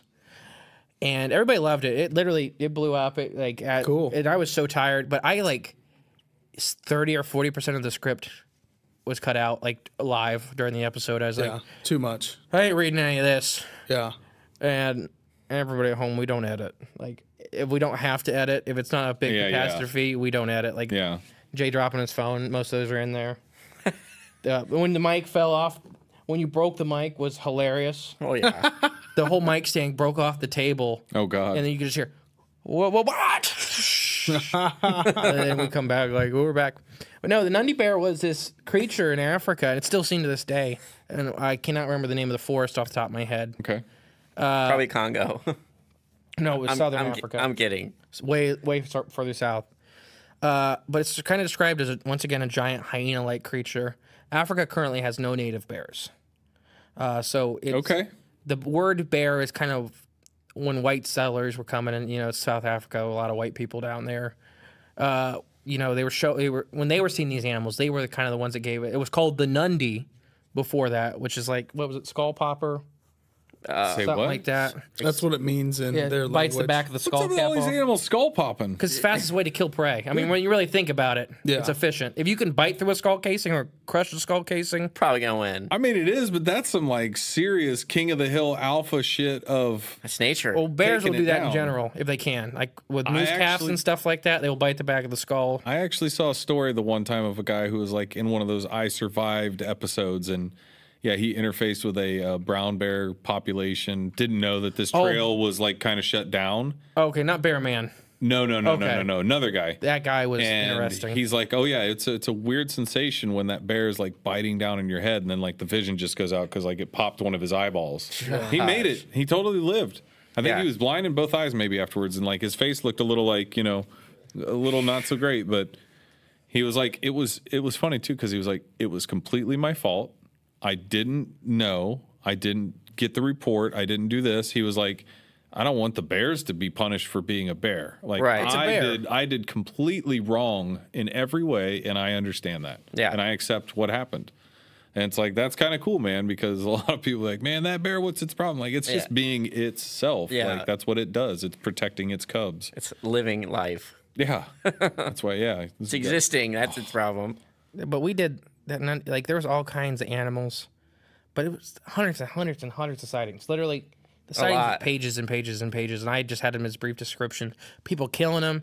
A couple of them ended up in well, live one ended up in a zoo in the in the UK in 1840s. Uh, it was that. 18 something. something Yeah. 18 uh, and it died in captivity in the zoo and it's still classified as a nundy bear in that zoo's catalog Oh. uh, body's not there anymore you know it was like it, it was on display keep in mind this is a zoo that has other african animals on display so that gets rid of miss id you know it's not a hyena because there's other hyenas on display So where's all So the you don't think it was a bear at all? now at the end of that episode we get into africa did have a bear Yeah. the uh what was the name I don't remember. I don't remember. oh, my kid. Oh, an Atlas bear? an atlas bear There we go. no hint. connection with why we named Atlas, by the way. Uh, but this Strong Atlas hint. bear was in Africa, and its range is really undetermined at this point because they were hunted to extinction roughly 1600s. If you look at that, though, the Nundy bear was really famous 17, 1800s. So when you start uh, genociding a population of animals, it's happened all over the all over the world. Uh, they their behaviors change dramatically with, with the population that's left. So going from the Atlas bear was really similar to our brown bears. You know, they are they're occasional. They are carnivores. They are herbivores. Or, so they're omnivores. But they will take meat. They will take it alive. They'll take it dead. They'll take plant matter. You know, they're not gonna go out of their way normally, chasing down healthy prey. Right. You're limping, you're gone. You know, they're gonna take you. But It's an easy snack. you know, they're not going to go rest, you know, wrestle with the wildebeest if they don't have to, or attack humans if they don't need to. Or Right. they, you know, what happened though is these bears were extirpated or locally wiped out. Uh, if we look at rattlesnakes here in Texas, the Texas rattlesnake almost no longer rattles because of rattlesnake roundups through the 90s into the 2000s. So what would happen is these guys would take these canes, rub them all along the rocks and wood stuff. Every rattlesnake that rattled got killed. Hmm. The only snakes that were left were these ones that don't rattle because nobody could find them. Now they're having a big problem with people getting bit by rattlesnakes because now they don't rattle. Hmm. Because we did that. We did that to that population. We genetically selected the ones whether we didn't do it on purpose, but we did. I just feel like it's a just giant Rube Goldberg that we're living in here. Yes. Well, it's when you start taking out the cogs, bad Yeah. things happen. So this Atlas bear, Slowly it happens. this But Atlas then bear it's could like be. reaches a point of Yeah. you see what you see the result. Yeah. Well, I was thinking that with what you said earlier about the shoebill storks and how like how are these birds getting out here? And I was thinking in a weird way, the illegal animal trade is helping these populations grow. Some animal, yeah, some in populations, some, not yeah. all of them. Some they eat them, like a pangolin. destroy That's a all soup. the- Like, uh, you know, uh, unfortunately, but So this Atlas bear in our episode we talk about could have been that what was left of them became extremely more secretive uh, and yeah, extremely more aggressive. Like when they get you, they you know they they're hunting humans now. You know that, the Nun- Nundy bear was classified as hunting a human. Like they weren't occasional human hunters. They seeked out humans. They that wanted to eat prey. humans. Yeah, Uh, like a polar bear. Sure. You know, polar bears view us as food. Other bears around the world most of the time don't view us as food as often as you know on a case by case basis. Every time a polar bear sees you, all it sees you is as is food. So we could have Jeez, um, selectively bred this population of Atlas bears to be really secretive, hyper aggressive, and then they remember. You know, animals aren't dumb. We talked about it off air. These animals aren't dumb. If your main predator is humans, they wiped out 98% of your population, you get angry. You remember that I better start eating humans. the orcas There is attacking something the to- boats. Yes. Right, yeah. Exactly. I think it's getting to a tipping point. They're training.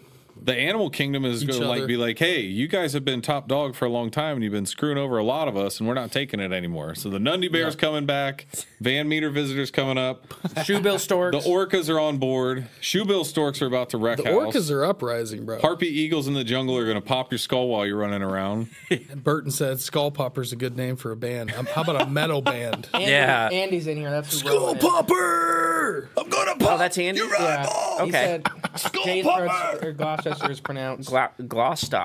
Gloucester.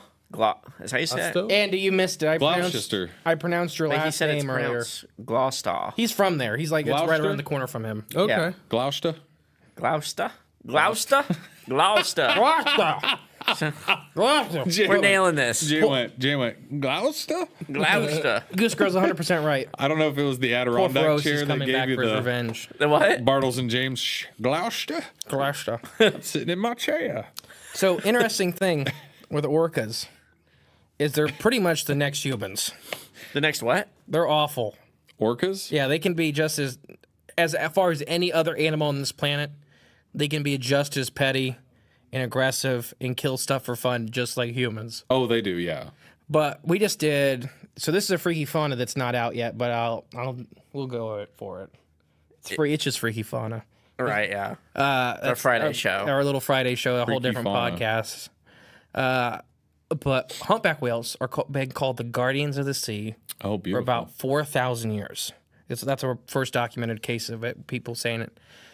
Now, hi, humpback whales are highly empathic. Uh, they've been seen saving other species of whale from wh- whaling ships and stuff like that. They'll often put their, their own bodies in the way of other animals' calves, like other different species of whales' calves, trying to save them from whaling ships. uh, another thing they do is in their early part of their species development, when they were a lot smaller, orcas almost wiped them out. It's called uh, what was it? It's generational traumas, generational traumatization. So these guys were hunted so often, especially these calves, by orcas. Now the whole world population of humpback whales, every time they hear an orca whale do the hunting click, it's a little noise they do to signal that it's okay, we're getting ready to hunt. Humpback whales, if they're near, will swoop in and save what animal, whatever animal the orcas are hunting. Whether it's a stingray, a seal, a, another whale. Now, there's two ways of thought of this.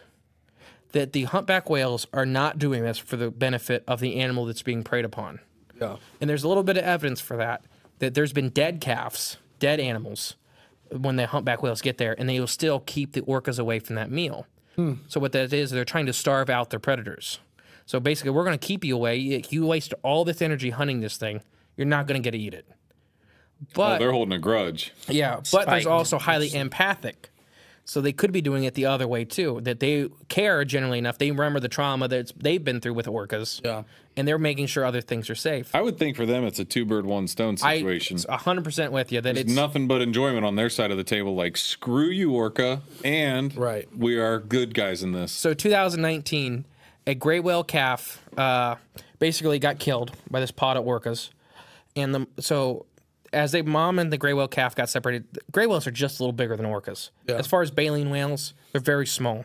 They evolved that way when stuff like uh, Leviathan and Megalodon were still swimming in the ocean. Leviathan was the big sperm whale that was eating other whales, and then Megalodon. Jeez, um, Sperm whales are, were definitely more aggressive. Well, Leviathan was the sperm whale that had two sets of teeth. So sperm whales don't have teeth on top right now. They only have teeth on bottom because they're hunting squid. They Yeah. eat soft-bodied prey. Uh, Leviathan was the bigger sperm whale that had teeth on top. It had the biggest teeth of any animal of all time that we know about. what? They were the reason Megalodon went extinct, and then orcas are the reason Leviathan went extinct. Orcas ate Vi- Leviathan. They hunted them out of extinction. They basically hunted their prey source where the Oh. Leviathan couldn't compete. Competition. So, anyways, these uh these orcas, this gray whale calf gets killed, uh, but it gets separated from the mother before it gets killed. Gray whales aren't dumb. They the mom knows when she's separated. There's like 12 orcas. She's not winning. She starts trying to take off, go for the shallows, and try to save herself. They catch up to her out of nowhere. Two male humpback whales come in, and they start fighting off these six, seven orcas. And they're not. eh, They're losing. They're starting to lose this battle because the rest of the orca pod starts coming over, stuff like that three different pods of humpback whales showed up. It was like 30 animals come in and just start beating the crap out of these orcas. These orcas didn't know what to do because the, the, these humpback whales the whole time. Uh, another thing, I did miss this, that they'll go, like humpback whales will go silent when orcas start hunting until they get there, and then they'll make all kinds of noise. And that's This calling is in crazy. all the humpback whales. This is like a real battle. yeah. Yeah. An orca's, It's gonna be a movie soon. We're writing the There's- script. Are you? Yeah, no, no. You should. I know, right? I'm just thinking in my head now. Okay, Local legend. Uh, Is there a video of I'm all not. that? There's video of some of it. Uh, I I don't remember the name of the biologist. It, it was observed by Oceans a marine biologist. dangerous. Oh, Yep. that's cool. But yeah, What orcas. if the entire ocean system? Now this is going to be a crazy one. You got to follow me on this. I was thinking like, okay, here up on the land, everything's already messed up. We're here. We're all fractured. Just Keep people divided so that you can't get anything done other than what you want done, and only some people are happy. What if that ocean system and the orcas and these humpbacks and all these whales get together and they go, "Hey, look, look, it's time for a truce, guys." We've been killing each other off for too long and fighting and this and that. We can all share. We can get along. What if they can get to uh, uh, homeostasis much quicker than we can on land, And then, and they, then they become the superpower? they probably would. So the book is called Whales on Stilts. And Are that's you what it's kidding about. me? Whales on Stilts. That's a real book. yes, read it in high school. I just wrote it in my head. Uh, we didn't win, But by the way. I don't think we would. Uh, 'cause- Did the Whales bloop- on stilts. Did the bloop end up winning? no, basically a mad scientist. No, no, no. I'm. Oh yeah, go ahead. Yeah, I won't tell you if you don't want me to. I think I should read this. Uh, it's a really good book. Okay, is it long? No, it's like uh, Like a- I read it in high school, but it was like like a, like a middle can't school. read. couple hundred pages maybe. Whales on. St- I'm still gonna read it. I'm still gonna read it. I can't read. I'm sorry, I had to. Generational trauma in mice shows that multiple generations will show fear responses to subjects in sympathetic sense made for experimentation because their ancestors were shocked. Well, that makes that it was sense. present. Yeah, it's it's hundred percent. It's the same reason why humans are genetically dispositioned to be afraid of snakes and spiders. Yeah, what do you think about epigenetics? And the who's the scientist from England that's uh, Well, I mean, it gets passed talks down over that? time, right? It's like basically your your genes are encoded with experiences of your ancestors in a way. So if we look at it, it's and- called in animals we call that genetic knowledge. Uh, so here's my weird thing is there's a lot of stuff we like, commonly accept as biologists that, that nature does. Yeah. We don't think we do. We're just I'm you know, I'm a firm Christian, but we are just animals. Yes. You know, whether Sure. you believe in God or not, it doesn't matter. You know, we we're I all told part my of the five same year old that we were animals, We're animals. about I remind people that a lot. my Like, we five are year old's like. I'm not an animal. It's like we're animals. You really Literally, are. we have Humans the same organs as you know. It, and anyways, Yep, we won't argue that issue. uh, generation or genetic knowledge has been proven through like.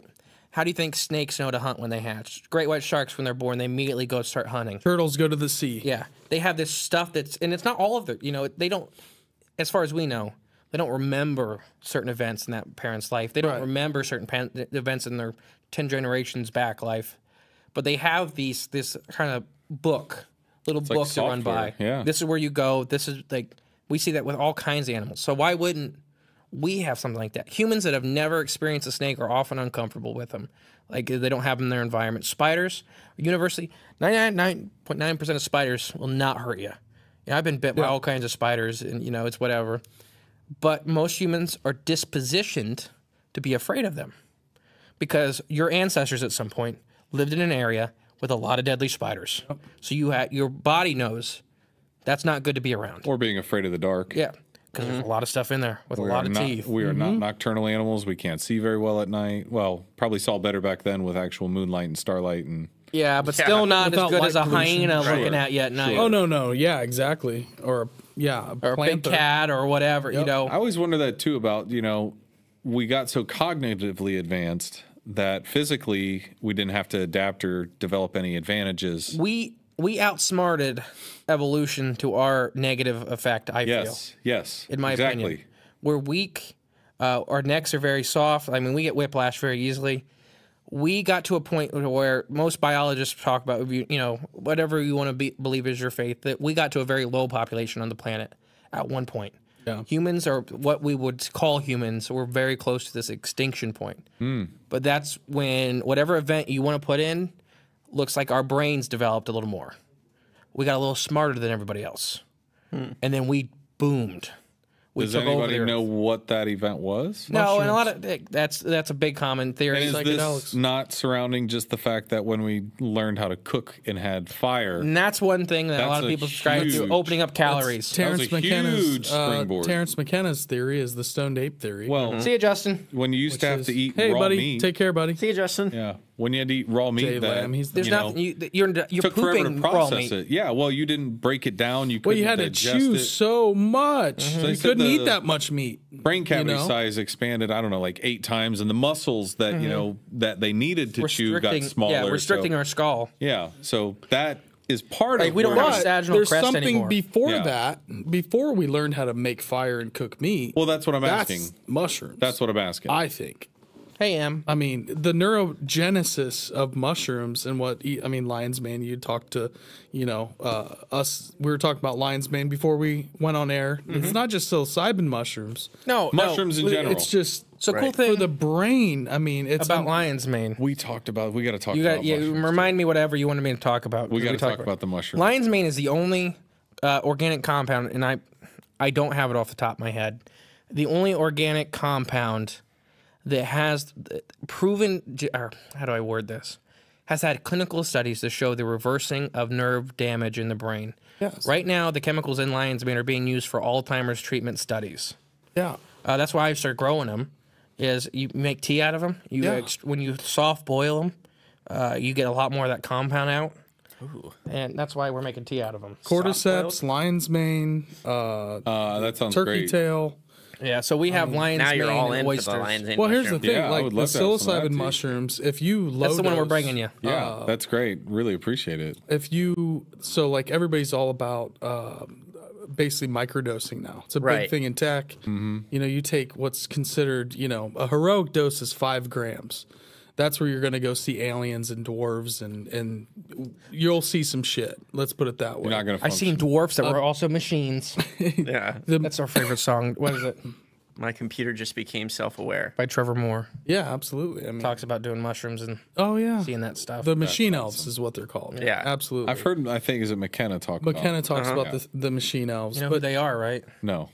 They're actual mushrooms. We did an episode on it. I mean, I don't. do you talking mean to they're the- actual- You're talking to their That's the consciousness. spirit of the mushroom. A Their hundred consciousness. You're percent. connecting to them. A hundred percent. That's what you think is going on? Yes. That's what they are. They're gnomes. The the Wait a image minute, wait of the minute. Well, gnome stop, stop, is the stop, mushroom stop, people. Stop, stop, So Dude, No, our buddy. I'm not going to mention. mushrooms. It's the normal mushrooms you're in Listen, your yard. let me tell you a, story. is that what a you're quick saying? story. Like you're talking to the network of them? Yeah. It's just their consciousness. They have Mm-hmm. it like we share a consciousness. We're all one. That sounds like a woo woo thing, but it's not. Like our consciousness is shared. That's with the mushroom consciousness.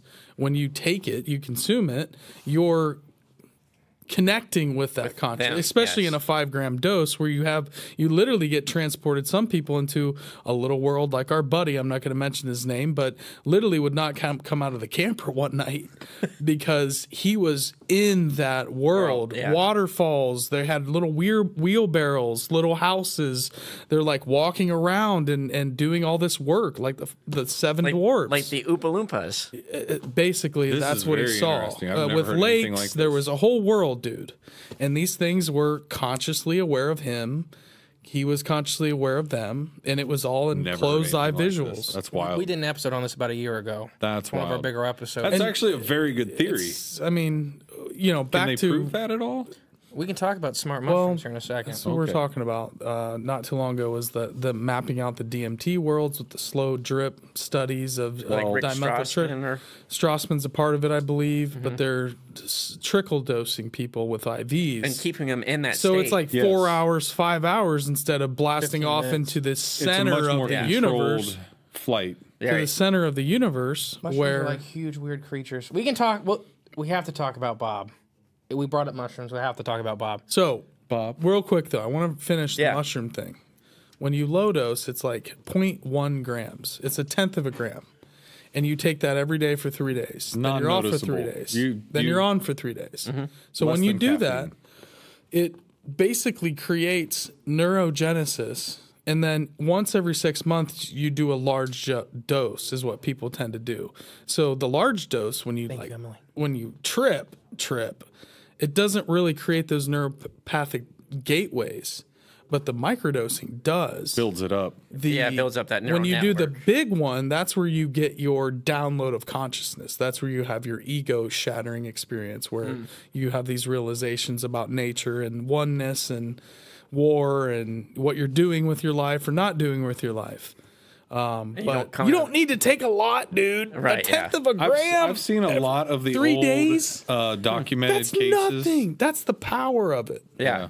Like when they would give people small doses back when they were first studying psychedelics too, and they would they would take some housewife and be like, "Hey, you know, come on in. We're gonna you're gonna be our trial," and give them a dose, and they just you know the questions they would ask them, but just the looks on the people's faces too of just like they're like in this trance of like they're seeing all this wonderful stuff or feeling all these magical experiences, but they're also having these very sharp realizations, you know, like, and they talk about that in different therapy counseling where they would say, Hey, Oh, yeah. for couples to come in and have one therapy ses- therapy session and each of them has taken a dose of MDMA, you will get three years worth of value. Wow. Oh yeah, for Because you won't be in there therapy. being nice, like I don't want to hurt your feelings, honey, or this or that. There's no You're gonna get to right to the communication, There you go, Em. We got to do Wow. wow. right, right to the actual messages, right to the, and it's same with um, chronically ill patients or you know, uh, There's a lot with with long term depression stuff like that. Yeah. Like, I really think there's a lot to mushrooms. But you want to talk about some of their crazy biology? I do. Yeah.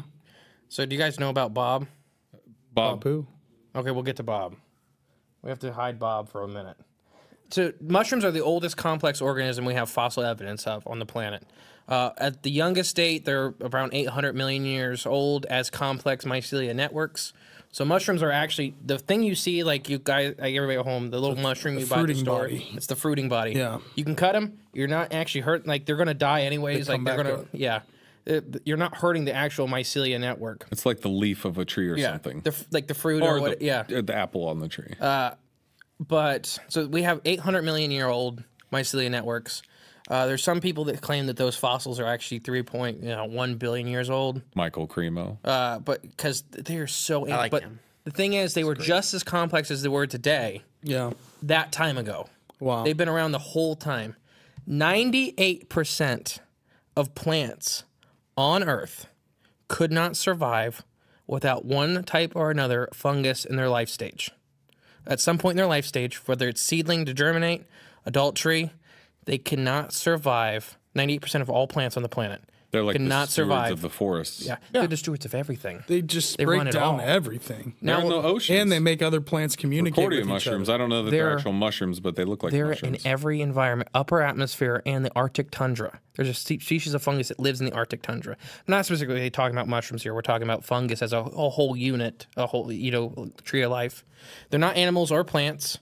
Uh, they're actually much more closely related to animals than anything else. Uh, there was a recent study by I believe it was Dr. Money of I know his last name is not spelled money, but it's pronounced money.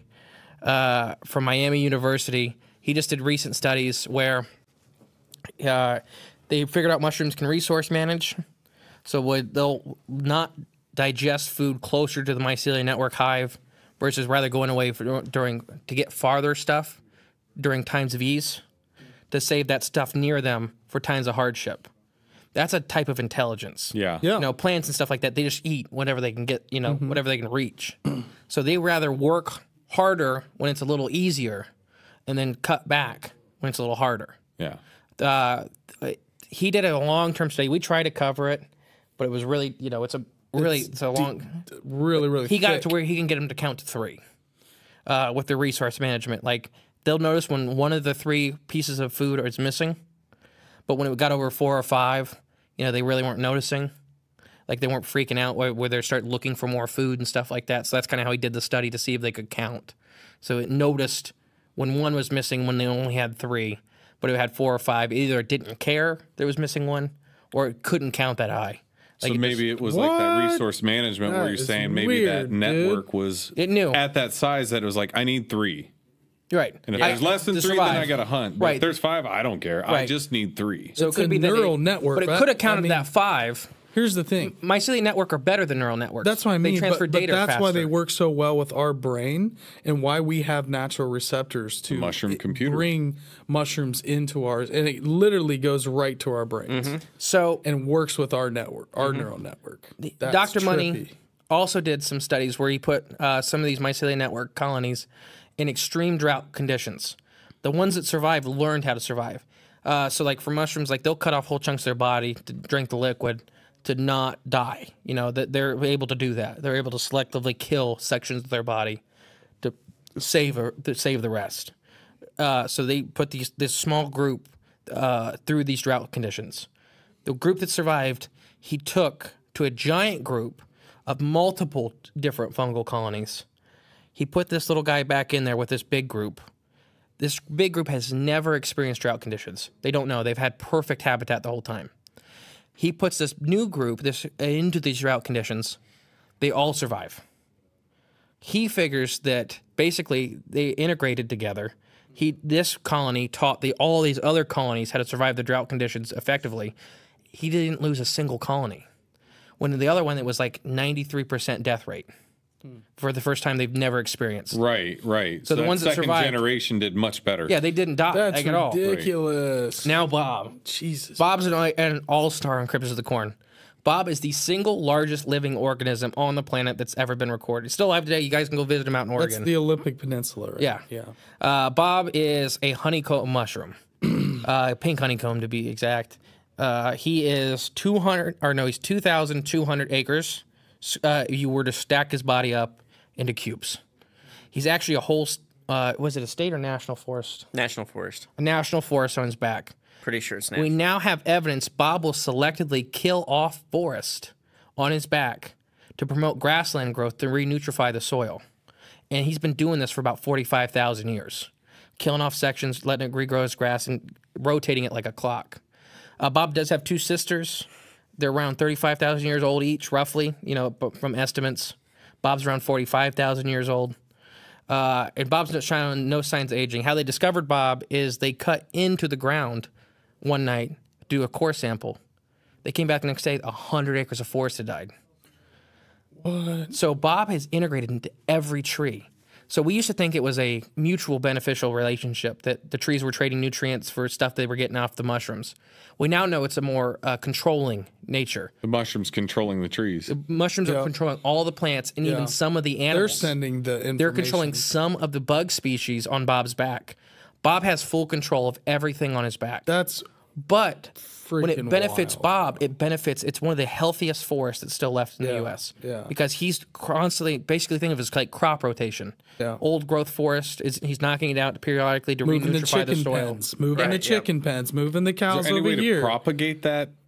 Bob, Bob, He, spreads does, he does it himself. seeds every year, or not I'm seed spores. Across the U.S., could you propagate Bob if you wanted to get a forest His, up and running? his species is all over the place. Yeah. It takes saying. a lot of Right, conditions yeah. though for Bob. Johnny Appleseed. There's some of these that are very large. Bob and his two sisters are extreme examples, uh, but some of them are pretty large. Uh, it just takes a lot. It takes a really specific condition for them to be able to get that big without being killed. yeah. You know, one earthquake, one you know this that breaks up the mycelium One network ice enough. age. Yeah, I mean he survived one. That's true. That's true. Yeah, Johnny Appleseed, he's just in So like spores. you know, Yeah. Avatar isn't really that far off when it's like the mother Eywa with that sends communication and information all to all living things. It's kind of not that far off from what like a those document- mycelium networks are doing. Mm-hmm. like a documentary. Yeah, it's like everything is actually alive. So Well, soft The disclosure. earth actually Soft is disclosure. alive and conscious. yeah, it's all mushrooms. It's uh, there's mushrooms underneath the bed of the ocean. I say it on the show. I gotta see. We, uh, literally, it's a mushroom UFO in the yeah, shirt. it's all mushrooms. I love that. Well, no, it's uh. Now I'm ruining it. Everybody, plug your ears. But the show, The Rig, is about that. Is about a giant oceanic mushroom that when p- humans started attacking it, it created a continental shift that sank some of Europe because it was a defensive mechanism. It was not going out of its way, but when they were starting to drilling into it, trying to kill it, because it was protecting basically oil reserves underneath it, Okay. uh, it responded. It literally caused a continental shift to drop all of Europe into the ocean. It's a real story. No, it's a, it's a show. It's a TV okay. show. Okay. But there is this giant mycelium network at the bottom of the ocean. There is mushrooms and fungus in the Antarctic tundra. They're in the upper atmosphere. They've been here since day one. Uh, they're integrated into every species of plant, pretty much. Bugs, all kinds of stuff. Like uh, I think it was local legend said earlier uh, that some of them eat plastic. Not only that, there's a lot of these guys that love radiation. Like nuclear power plants have problems. I can't mention who. we know, but a guy that worked with nukes, they'd had to paint antifungal stuff on their nukes because the mushrooms are trying to eat the warheads. Well, the fungus were trying to eat warheads because they love radiation. These guys, They'll clean up fucking anything. yeah. So Yeah. Sorry, excuse my language. it's your show. Well, that's true. They don't. They don't care about. We gotta about put the swear jar out here. how bad the earth gets, they don't care. Like so this thing when we talk about these entities we meet in these psychedelic trips, some of them, a very small select some of them, seem to be super excited that we have found some way to communicate with them. Oh yeah. Now, the cool thing is we found out mushrooms have been picking up a radio frequency since day one. Mushrooms react to all the radio frequencies in the air. I'm not when you be talk, able to go to bed tonight. so you ever seen the synthesizers plugged to mushrooms? yes. Oh yeah. So you know what that is? That's No. if, if you plug that to our head, that'd be your neural responses, your neural pathways firing. That's you thinking in your head. Okay. To them, it's a similar thing. It's slightly different. There's all kinds of different terms for it. We don't need to go into, but it's almost the same thing, just the mushrooms version. They have complex, what what some biologists would call thought. They're thinking all the time. When you start talking to them, they react differently. Yeah. When they're picking up radio signals, they're they're reacting differently. So that means whether they understand them or not is a whole nother thing. But they can pick up your radio signals. They pick up all the signals in the air and do all kinds of stuff. Do you think all plants do? And I No, know I know fungus. that, I know that they're Fungus. not plants, but do you think plants do as well? Not like not to this level. We're talking No. about a whole different Well, system. Not. I guess I should rephrase it. Plants Not are really good degree, at making chemistry. I've heard the whole talk to your plants. They're you really know. good at That's a little this, like that's. I think a lo- I think plants are a lot more simple when it comes to this kind of stuff we're talking about. Not uh, as responded. Yeah. You know. Now I do think there's some stuff to that, but it's not this level that we're talking about with fungus. Sure. It, it, I have one other question about this then. So if they've been here so long and they're this intelligent, why aren't they? Maybe they are. Maybe they're running. They're they're running the show. Think about it. They've survived every mass extinction without a falter. they will turn. They don't care what happens on the surface. Whatever we do to this planet, we nuke it to oblivion. They're going to eat a the nuclear glass. They'll be fine. They're going to eat the nuclear glass that's behind. When Do you think that that's happened already once before, and that's why they like it? Because there's the whole theory that there's been nuclear war before, and like there's been Right. civilization, and Well- the world has started. Not to Darren Kuru. not to Right. drift too Oh. far, but They, Hey, Jeremiah. glass, what the if they are kind of like the Hello, cleanup guys? Like you know, when when we lose our our collective shit, and you know everything goes down, and then there's nobody left, and we've nuked everything. The mushrooms are just like God. They're just wiping the bar floor. Like they'll be back. Or they maybe I don't they even want think- it. They'll be back. maybe No, they I want don't- that nuclear glass to eat. I don't even think they care if they. w- I don't think they want it. I think they're pretty much at this state to where Maybe we're they going to evolved us handle to make it for them. whatever. Maybe you throw there's at us. separate factions of good mushrooms and evil mushrooms. And Leave my the, mushrooms the bad ones have hijacked. Mushrooms our are also UFOs. Our, our world Mushrooms leaders are also causing UFOs. World wars. And That's mu- literally my shirt. Is a mushroom UFO abducting a cow? I think some of them might be. Jay, what if biological mushrooms ones. actually created beer. us because they want us Yeah, sure. To get intelligent enough to feed them more Feed them more. radioactive material. it's a symbiotic relationship. That's not symbiotic. so we spring up, we spring up like every couple hundred thousand years, and we, you know, it takes a couple more, you know, and we get to the point where we just start firing nukes everywhere, Right. And the mushrooms throw a party, Like- and they eat all that nuclear glass, whatever he's talking about. Start the the cycle all over Yeah. again. It's just like, a long forty thousand year cycle. yeah, And they don't care if your head gets popped. No, Yeah. not at all. You By a harpy eagle. Oh, Yeah. I, was saying, I don't need that. Thank you, sir. By a harpy eagle. that is, I mean, beer. that's Yeah. interesting. No, I'm used to grabbing you a beer. We do it both. I mean, we do it both Sometimes. ways. Sometimes. I'm gonna have to if you ever find. Uh, I'm gonna have to read about some mushrooms now. But now when you now when that lion's mane's sitting here, oh, I'll be never. thinking about it. it's listening. By the to you. way, we're getting a lion's mane walkie. Yeah, but it's a secure airwave. This thing is like a mom telling you how listening. it's all- not your uh, Alexa sitting on the corner, you know, on your shelf. So it makes me imagine Yeah. of like you know if we build spaceships or something to like drive them, we'll just have like these helmets with like this mushroom lining. A that you have mushroom to- cap. Jay will be a perfect pilot. It'll just right, Fit right into over my head. they won't let us leave the planet. So we are uh, trying to look into. We're trying to get a psychedelic researcher on. oh, We are nice, trying okay. very hard. Very we hard. are trying, we're trying to, get, line up schedules. Trying to get Yeah, schedules lined so- He was just at the uh, conference in Denver for the psychedelic uh, conference. Okay. and I was watching his Twitter page, and it was just crazy. It was like, you know, uh, lollipops. It was like LSD, like spritz doses. It was. Oh my gosh. I Oh yeah, it was in all packaged, just like looked like candy. Right, yeah. It was because crazy. everything's decriminalized. Right. Yeah. Over. Yep. It's not crazy. It's just wild the fact that like it was made to feel Crazy. that you were crazy if you did stuff like that, and now people are still kind of have that indoctrination to where it's like again, you don't see people like uh, I don't know how do I want to say it. It's not like going out and getting addicted to something. Like if somebody goes to an Actually, ayahuasca retreat opposite. and does It's like one therapeutic session a year, or every six months if you did a psychedelic or an MDMA or whatever it is. But we do lithium and we do shock treatment and we do all kinds of weird, crazy stuff. This is just you might see something kind of wild, but it's nothing's going to hurt you.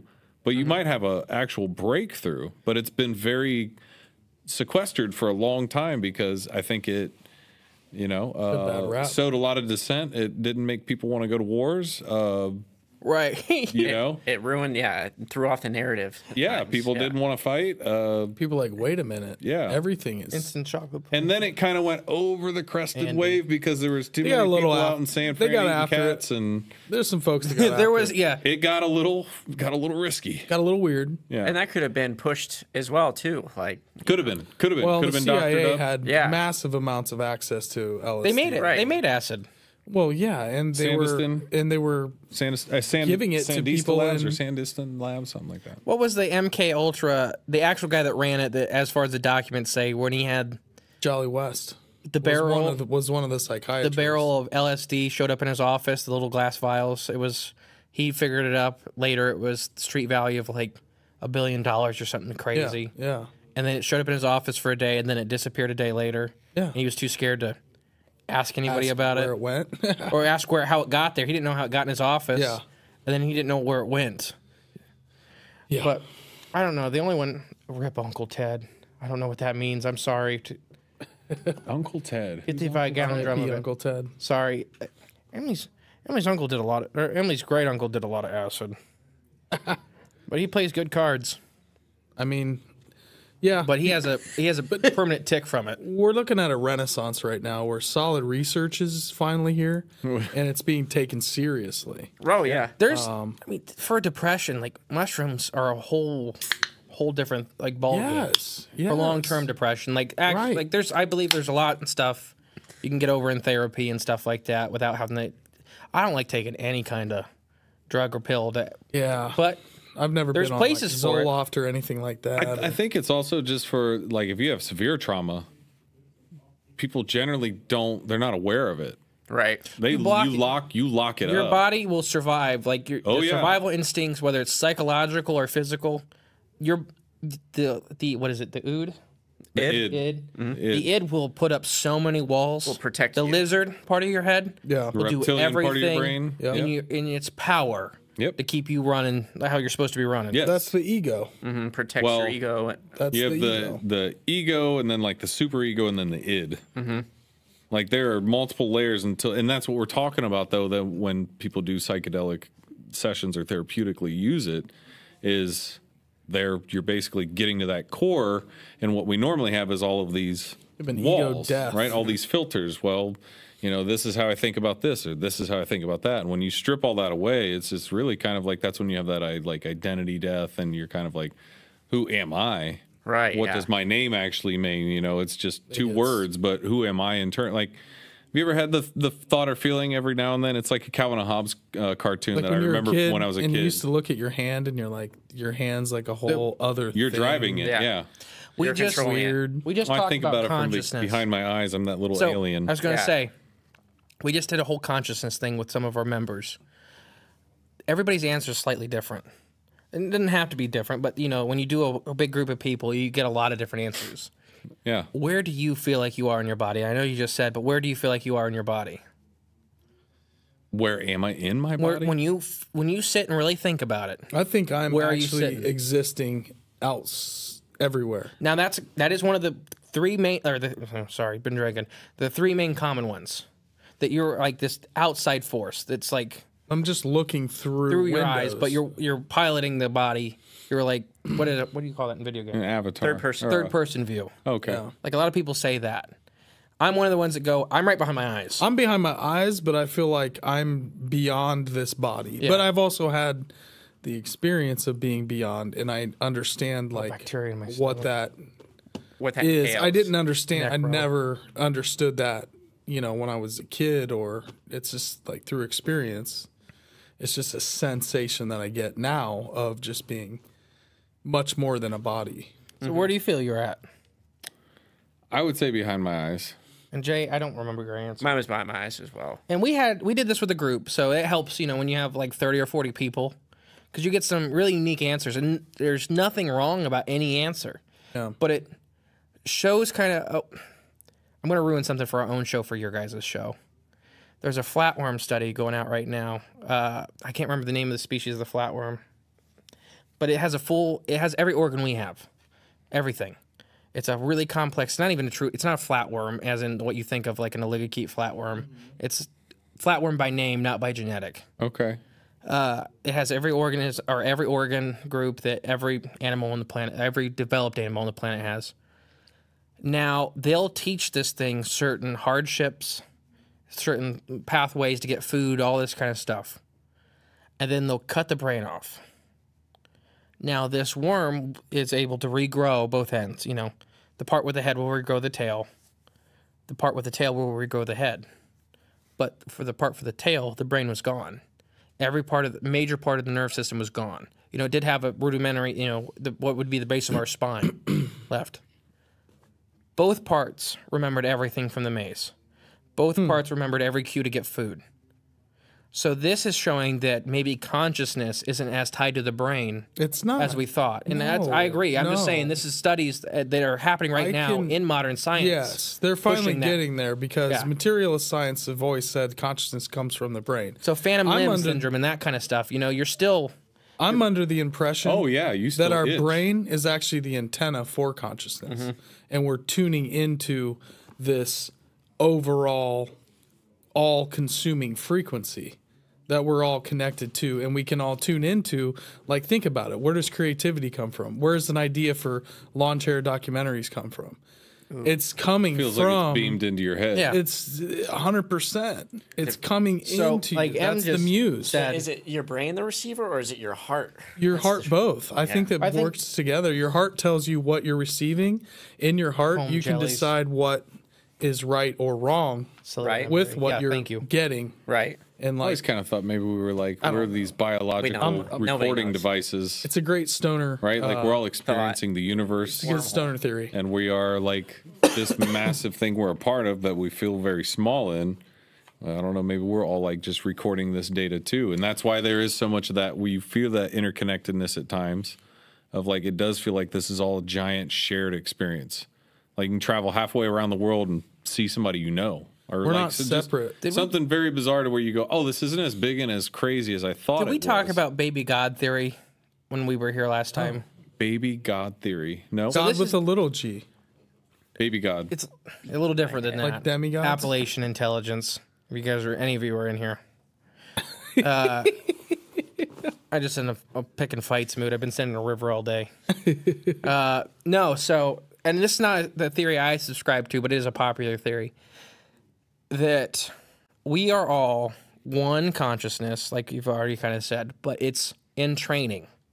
We are what the consciousness itself oh. is a baby god in training to learn how to be god. compassionate for every side of every argument. there are levels You are hurting yourself when uh, any kind of racism. You are being racist towards yourself. Any Yes. kind of you know destruction. You're and uh, there's a I can't mean, remember every what the culture comic has is. do unto others. It's just the karmic law. Right. Jesus said, "Do unto others." Confucius said, yeah, they all say the same. Buddha says the same thing.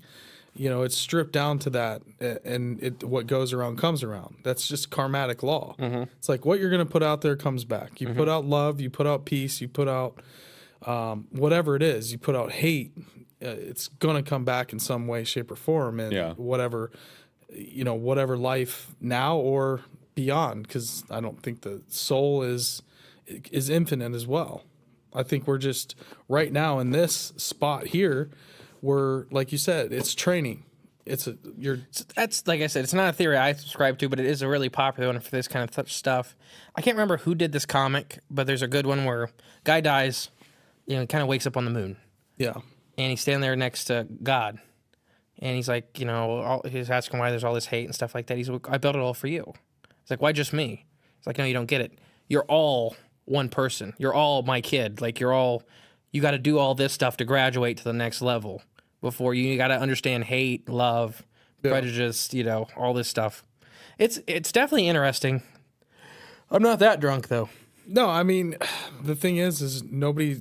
I mean, until you die or until you have some kind of experience or you know mm-hmm. visionary states or like you're only seeing a little window too. Right. Exactly. like you know the people that are even doing these long-term dmt studies and, and those folks they're in then they're out then they go back to this reality and then all of a sudden everything's separate there's a rock there's you there's jay there's justin there's uh, you know there's the the whatever bear you were talking about that's secret in africa you know there's giant The Nundy. catfish The yeah, the Nundy Remember Bear. Barry? You remember? The Nundy Berry. and everything seems separate Berry. I remember the Nundy Bear. you know but That's a T-shirt. Nunderberry. Yeah, the Nunderberry. you know one one experience is the sense that you aren't a person anymore if you've had Oh, that yeah. that's where it gets real weird is that like is the people you- who think they're like a, a cat or a dog? no, No, you no, just no. You're kidding, I'm nothing kidding. you're just nothing No, just you're just kidding. just You're not anything. You're, You're aware that attacking some of you're our community. I'm just kidding. kind of kind of like you were just saying before about like what is not your that you're awareness a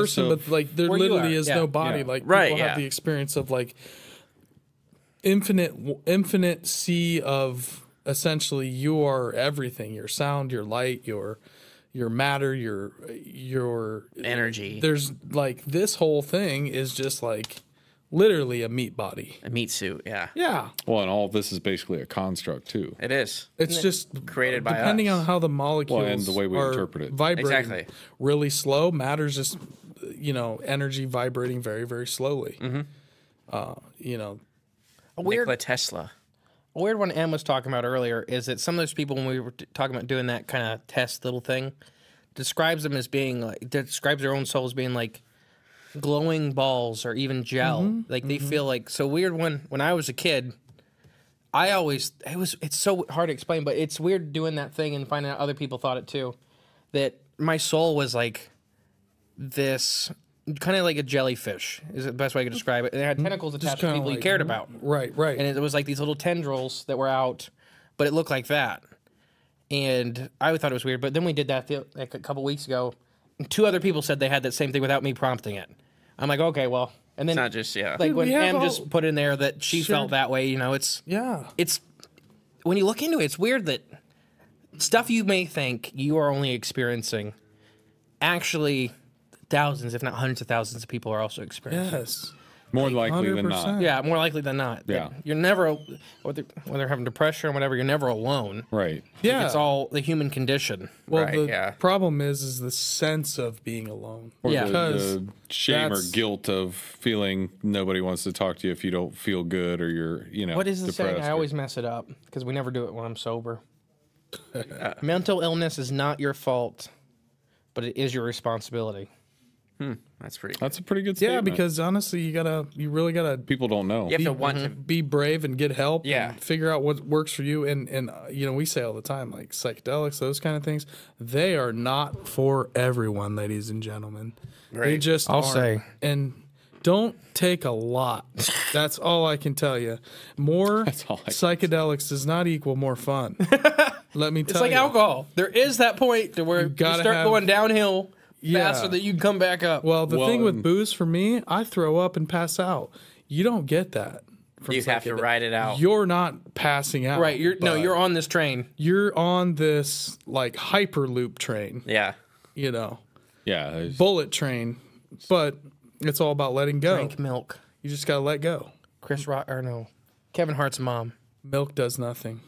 I just that's one of his scat it- Oh, really? where he was like he was tripping on mushrooms. Oh really yeah, I remember that. That's so He's funny. you dude. know, all the- his drug dealer told him drink milk. And he's like like, I'm not advice. drinking milk, and then he calls his mom at like three in the morning. He's like, Mom, I'm in the hotel tripping really, real oh, bad. Oh, God. But she said, And she's drink milk. It's like, Mom, you done mushrooms?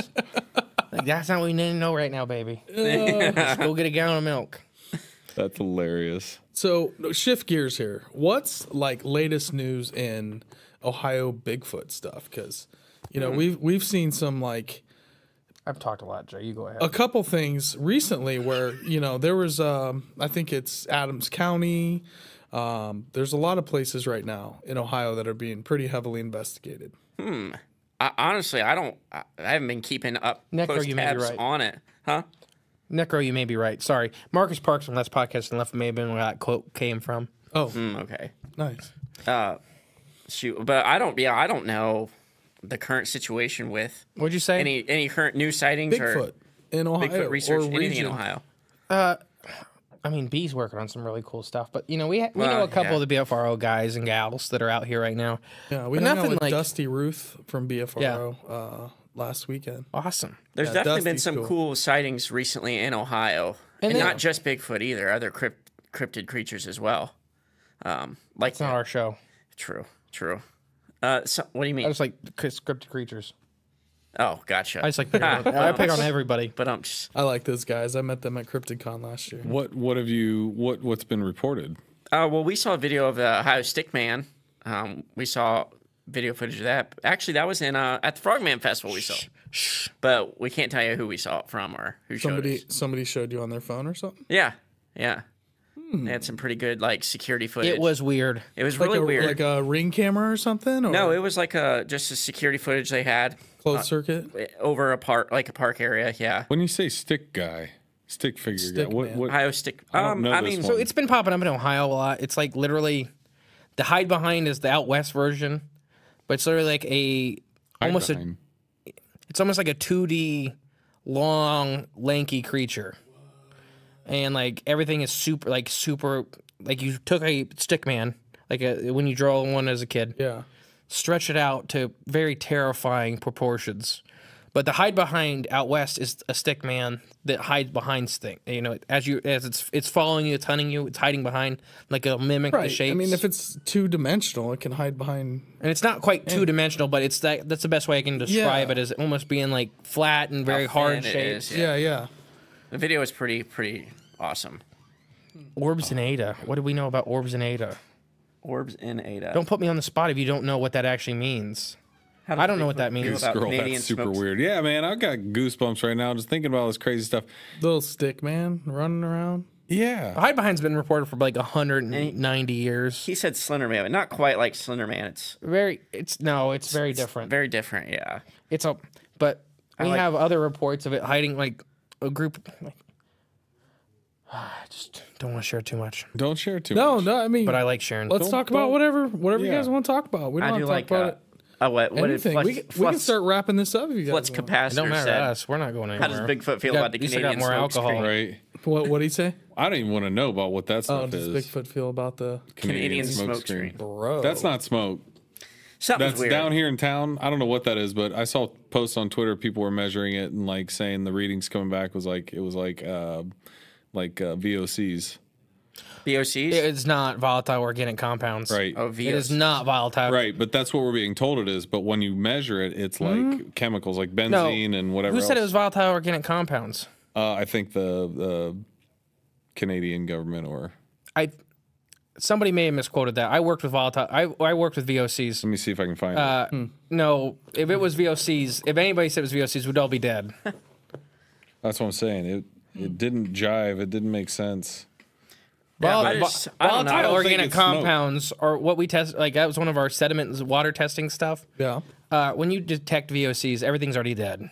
Like the VOCs in tiny amounts of the sediment will kill. By the way, for those that you might not know, Ohio is completely engulfed in smoke from the Canadian wildfires. A lot of duck Columbus, butter around it's here. A lot of duck murder. Duck butter. Oh, duck butter. I thought you said of- duck murder. I'm like, No. who's out killing all What's these duck ducks? Because of smoke. What's, duck butter? Yeah. Oh boy, let's not. Do you want to go there? No, I'm not. Okay, No. we'll we'll give you the Off full. air. Yeah. Yeah. oh, but that so the hide. or- Formaldehyde and benzene is what they're actually measuring in the smoke. okay. Wow. That's So what does that's that mean? wonderful. Is it some kind of wreck or something? Some train wreck Formaldehyde's weird. that's on fire? so I we've been they out there shooting all day in this, are they and I dumping it? worked yesterday. It doesn't Are they- matter. it's in here too. You just Are they can't see it. dumping It's it? not Right, thick enough. right, It doesn't right. matter where Planes or you're at. something? I mean, Unless you're not in a vacuum room. it's hard telling. I don't know, man. Like you can't. I mean, you can't get away from this. Like whether you're in a building or not it does not No. matter. Right. It's, it, it's in This your, stuff? Yeah.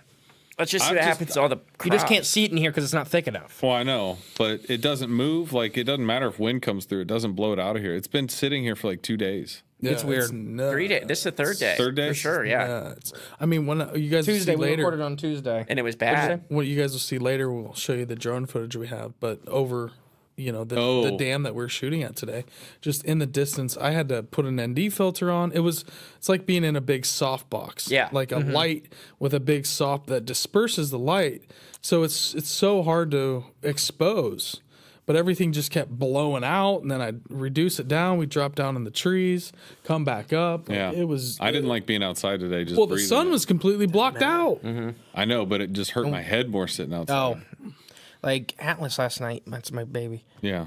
He was sneezing out of nowhere. It was actually like freaking us out because he wouldn't stop sneezing. Yeah. But then I started sneezing. So I don't know. I don't know if it's anything to do with it. It just. Yeah. I was gonna say you should write a children's book called Atlas Pooped, Oh, we had a problem where he wouldn't poop. like Atlas Yeah, Shrugged, that but you could make a nice little Their like you know system's children's version of yet. like the Ayn Rand series. Then when he pooped, Atlas, it was Atlas scary. Poop. It's coming out of all like, you sides know- of that diaper. Oh yeah. I see where you're going. Little kids it. book. I think that'd be hilarious. Like Jelly. Everybody poops, including jellyfish. Oh my gosh. I could do it. I know you could. I know you could. You, I Dude, think that you would be already a great started. children's the mighty book. mantis shrimp poops. Hey, I'll back that. I would invest in that. I like idea. Kickstarter. Everything poops. including man. jellyfish.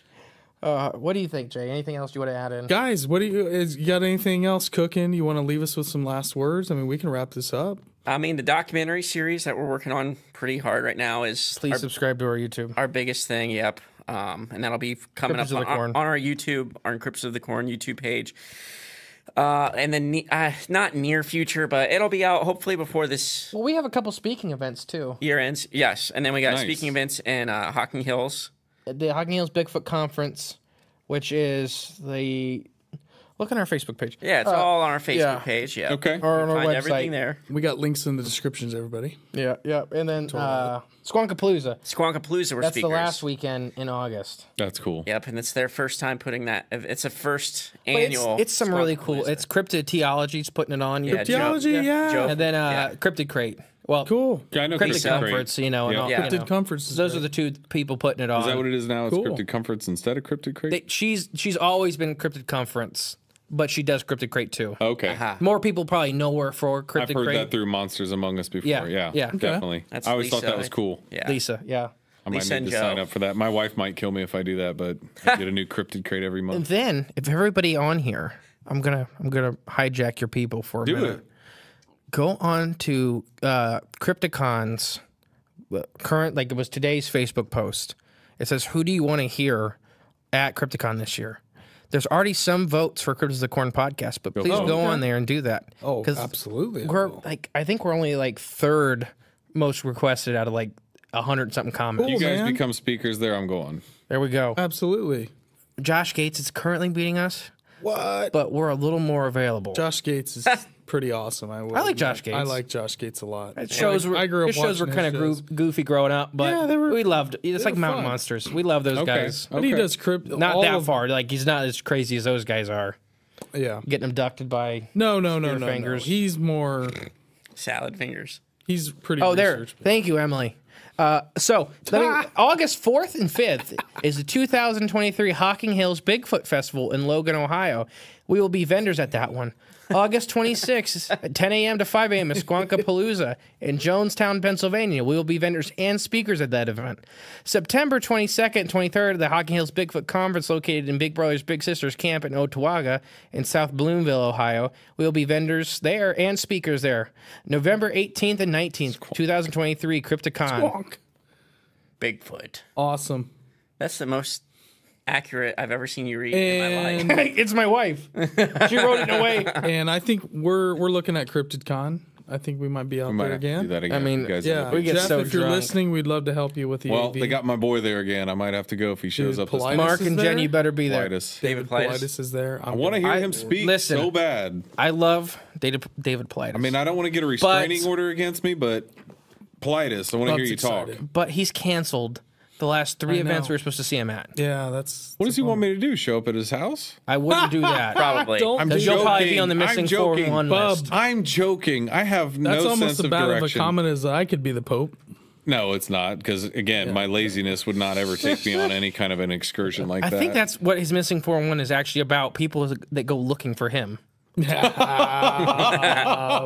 The burn. the reverse four one one. Like, yeah, anybody shows up on his doorstep gets added to the list. That's hilarious Well, his new one, his new missing four on one, the uh, UFO connection, is pretty awesome. I will say. I don't think he, I, The Hunted is still my favorite. the Hunted's awesome. The Hunted don't get is- me Because you know wrong. why? I watch that every I'm so often. Ohio. Yeah, first uh, the Predator Bigfoot. I watch that every a so UFO often. sighting. Bruce Maccabee. Yeah, I watch that probably every couple of months just because I love the storytelling. I love that first story too. The guy in the chair in the driveway giving the interview just has the beer can. I don't even know what kind of beer brand he's drinking, but this guy is Probably just. some Schlitz. Local. As- it's just local stuff. some hams. Cat pee in a can. But they're so Disbro. good at their storytelling. Like they're But he's hunters are different. Hunters are different because Professional they, storytellers. that, but they they you're in the woods. You have to have all this memory of like, Mm-hmm. okay, I saw that, and then this deer went up that way, and it, whatever. That's all we used to do at deer camps. When we come back, is you tell every little thing that happened that day. Because you're by yourself, Yeah. you're just recounting, you know, what you had occurred. Or you're drunk and asleep. Don't know anybody that did that. I've never killed a deer in my life. Well, that's why I always think they have crazy encounters too. They spend a lot of times out in the, a lot of time out in the woods by themselves, and that that whole scenario of just like people going missing is just.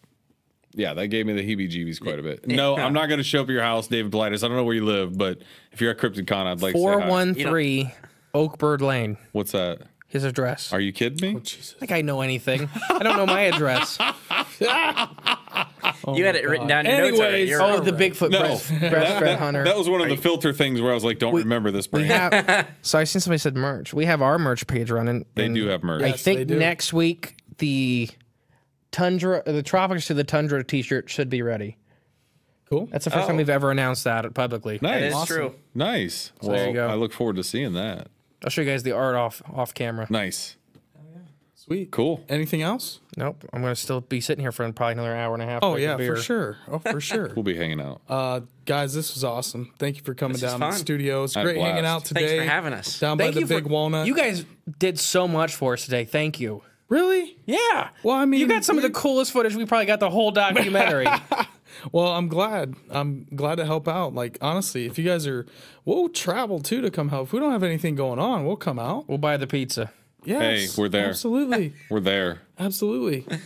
And uh, that was amazing.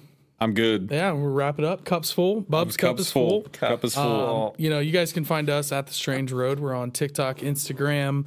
Uh, Nicest miss? Twitter? podcast studio we've ever been in. thank you, Appreciate thank you that. guys. It means a lot.